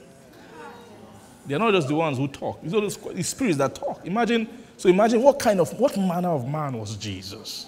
Who can have conversation with spirits. And when you finish talking, they don't have anything to say. It wasn't only Jesus. After a while, the apostles, they all behaved, became like that. He said that when Paul said they couldn't resist the wisdom with which he spoke.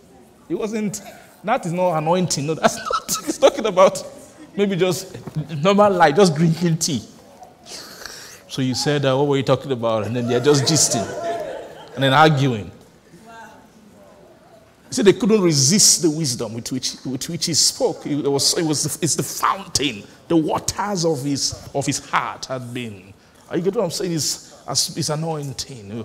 I mean, his oil flowing actually inside of him. His, his thoughts are so spiritual, they are so tight and so sharp.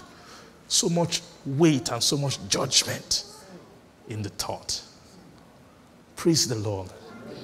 Glory to God. So I see there are, I said there are two wisdom. There is the wisdom of who? Of Christ. And then there is what? The, the wisdom of God. So it's then also clear that there is the Spirit of Christ, and then there is the Spirit of God. Which is, by Spirit, I mean the anointing and the anointed nature We're talking about the hmm.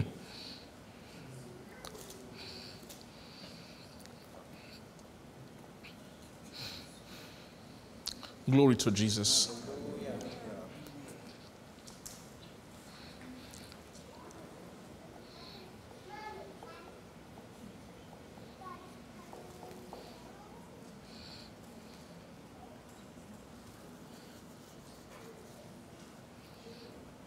That one's love righteousness and hated wickedness.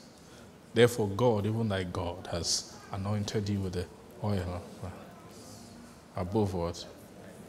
Above oh no, thy fellow. So you see, oil of gladness is not just, it is.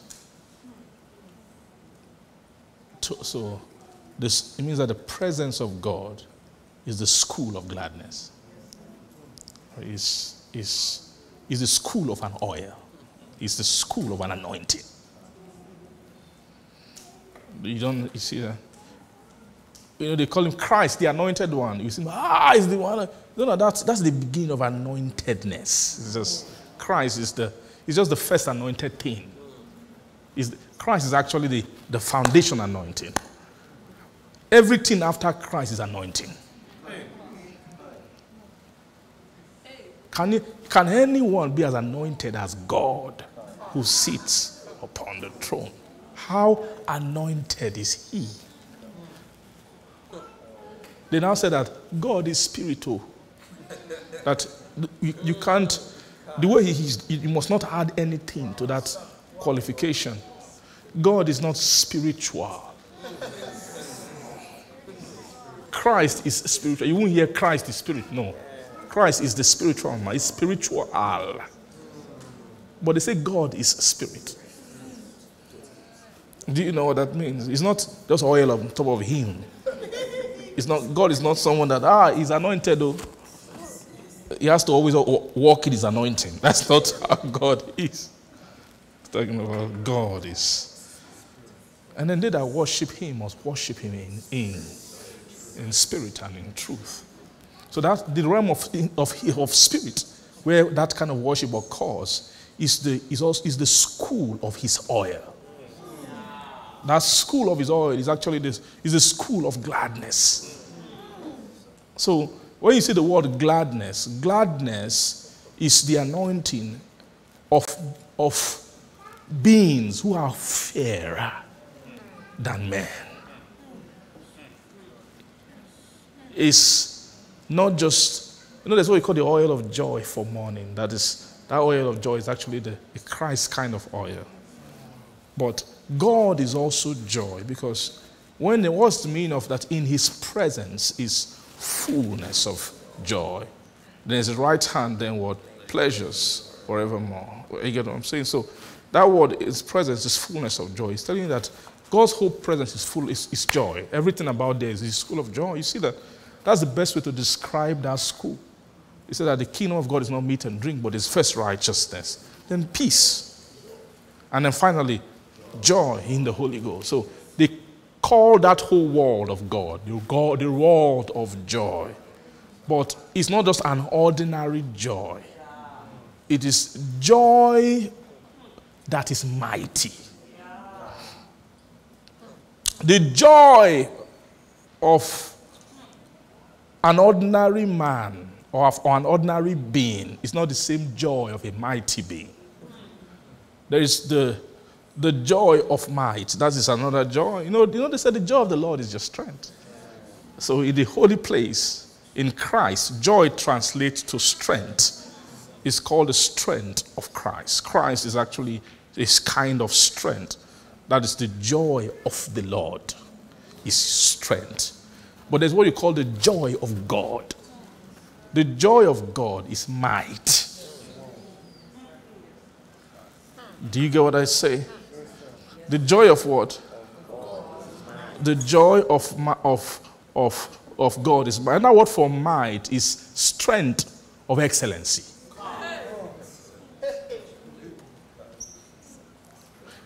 Bless you is, is angels who excel in strength. They have excellent strength.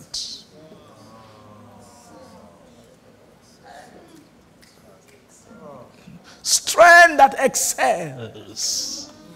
Say, guide your sword upon your thigh, oh most mighty. That word is not just strong, he's strong and mighty. The Lord strong and mighty, mighty in battle. You don't understand. You know how they war in that world? They war with joy. It's, they, it's, it's not just any kind of war. It's not just joy, they war with gladness. They, gladness is, hey.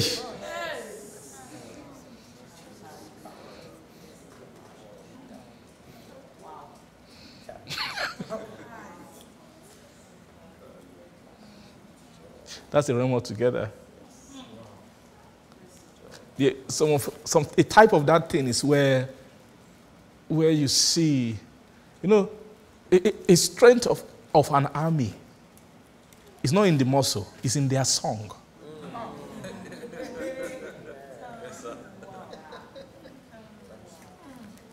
That's how you actually know the strength of an army. When you see an army, they are not singing too well. Why? They still have, they, have not, they are not dead yet. Dead men sing because they have no care anymore.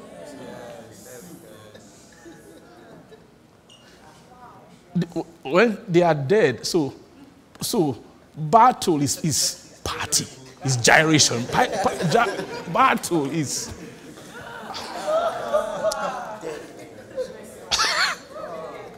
They've passed the threshold of caring for their life. That, that burden of my me, myself, that burden of, of you know that you know that thing keeps you. Amen. It's, that's the, the reason Zion is to take that thing away. Zion should work on you until you are able to turn mourning into joy and, and then you produce beauty for ashes those kind of beings, uh, they now say, okay, when you become like that, hey, they see fairness. You know, ugliness is caring for your life. They say, hey, that guy thinks of himself too much. He's too ugly. It makes you ugly. Thinking of yourself makes you ugly in the spirit. When a fair man in the, in the spirit is a man who has left himself behind.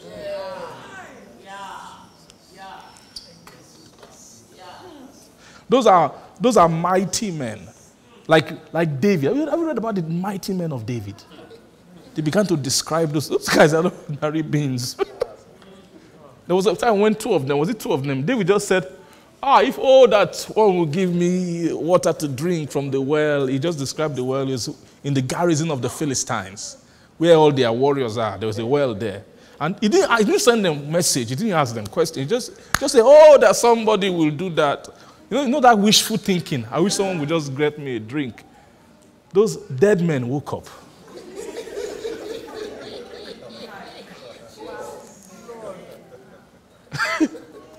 they say, ah, the king had just sent us on a stroll. I mean, their life meant nothing to them. They went into the broke into the camp of the enemy just to go and fetch a cup of water. Those are not ordinary men. So when you read those men of David, you know that those are not just strong men, they are mighty. They say, through just one of them, his fling of his sword, how many people did he kill? That thing beats normal imagination. No, Holy Ghost must have done those things with those men. To, it's a type of something. To be a mighty man of David. Who is David? David is the heir of the throne of God.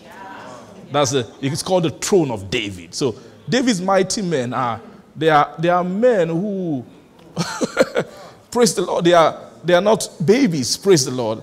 They are, they are beings who war with, with gladness. They war with gladness. It's higher strength. But before you can come into gladness, you must learn the realm of what? That, that first realm. You must learn the first anointing. You must master the first anointing. So, before your strength will be made excellent, you have to first renew your strength. Who renews their strength? They that do wait upon the Lord. Zion is the mountain of waiting upon the Lord for what? The renewal. Shall renew, shall renew their strength. Thank you, Jesus. I've seen the Lord imparting spiritual strength. Amen into you. In, I, I mean real strength too. I don't mean that you're flexing of your, right, your moral muscles and trying to be good. I'm talking about strength. Strength, strength, strength, strength, strength that comes from above. I'm talking about strength that is generated by a wise, out of a wise heart the, the deposit of the Spirit within the heart, the, the giving of the Spirit of wisdom, the, the infilling of the stature of wisdom that will produce strength. Just begin to talk to the Lord. And I'm not giving you a prayer point. However, this message just spoke to you and turn it into a quest of your heart.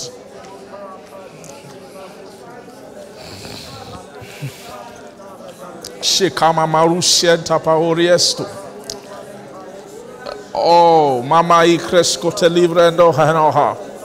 Mantata e creto pa cresca pona greta gesco. Lampa mama op oste cona cresce. Ah, ma ha ha ha ha ha ma. Lembral de seta maluho. Oh, Mahaso, Mahaso, Mahaso, Mahaso, Mahaso, Mahaso, Mahaso, Mahaso, Mahaso, Mahaso, Mahaso.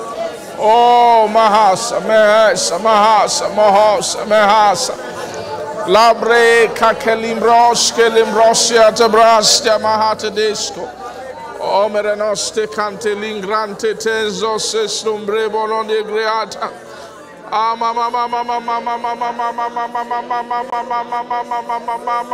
Lebrandele Cotrana Mansorie de Boscheta. Mataske Sadaranosh Departamaneta. Le fretas on the Sionja Lambraske Lembron Jariot Ekariota Kandreta Ota. Oh, ah, Masata Babara Babara Baboria Babaro Breshem Bravalu Tangrega Dose Greda Legrama oh. Hey, Masisa Sasama Totores Kreta Kaya. Lambroi te gas conderios cameranendo lembras teleboria da babota lebreta ideas. Le pretas ma ba ba ba ba ba ba ba ba be. Repandorios harabosque helios oh thank you jesus. Ah marikas corienda rodomoskerioske le protemengres carabaturia le pramahahata Thank you, Jesus. Oh, we thank you. Omre katahano. Thank you, Lord. In Jesus' name we pray. Oh, Lord, you've heard the, the cry of our heart, responding, responding with quest, Lord. We're just responding to your thoughts, your righteous, holy, beautiful thoughts. So you know the thoughts you have towards us, they're thoughts of good. These are thoughts of good, not of evil, to bring us to an expected end. Father, may this end not elude any of us. May no one miss the dividend, the blessing, the actual allocation of these things, the, the rotting out, the, the bringing about of this great blessing within our soul, within our frame, within our nature, Lord. I pray distribute these dealings, Lord, to every heart. Distribute these dealings to every soul, to every soul, to every soul. Everyone under the sound of my voice, I pray, God, distribute it. All the, the dealings, the training, the school that will bring about this anointed nature, this inheritance of wisdom of the Spirit. Thank you, Lord. Thank you because the priestly doors are open these priestly gates are open even to our soul, and we will walk in.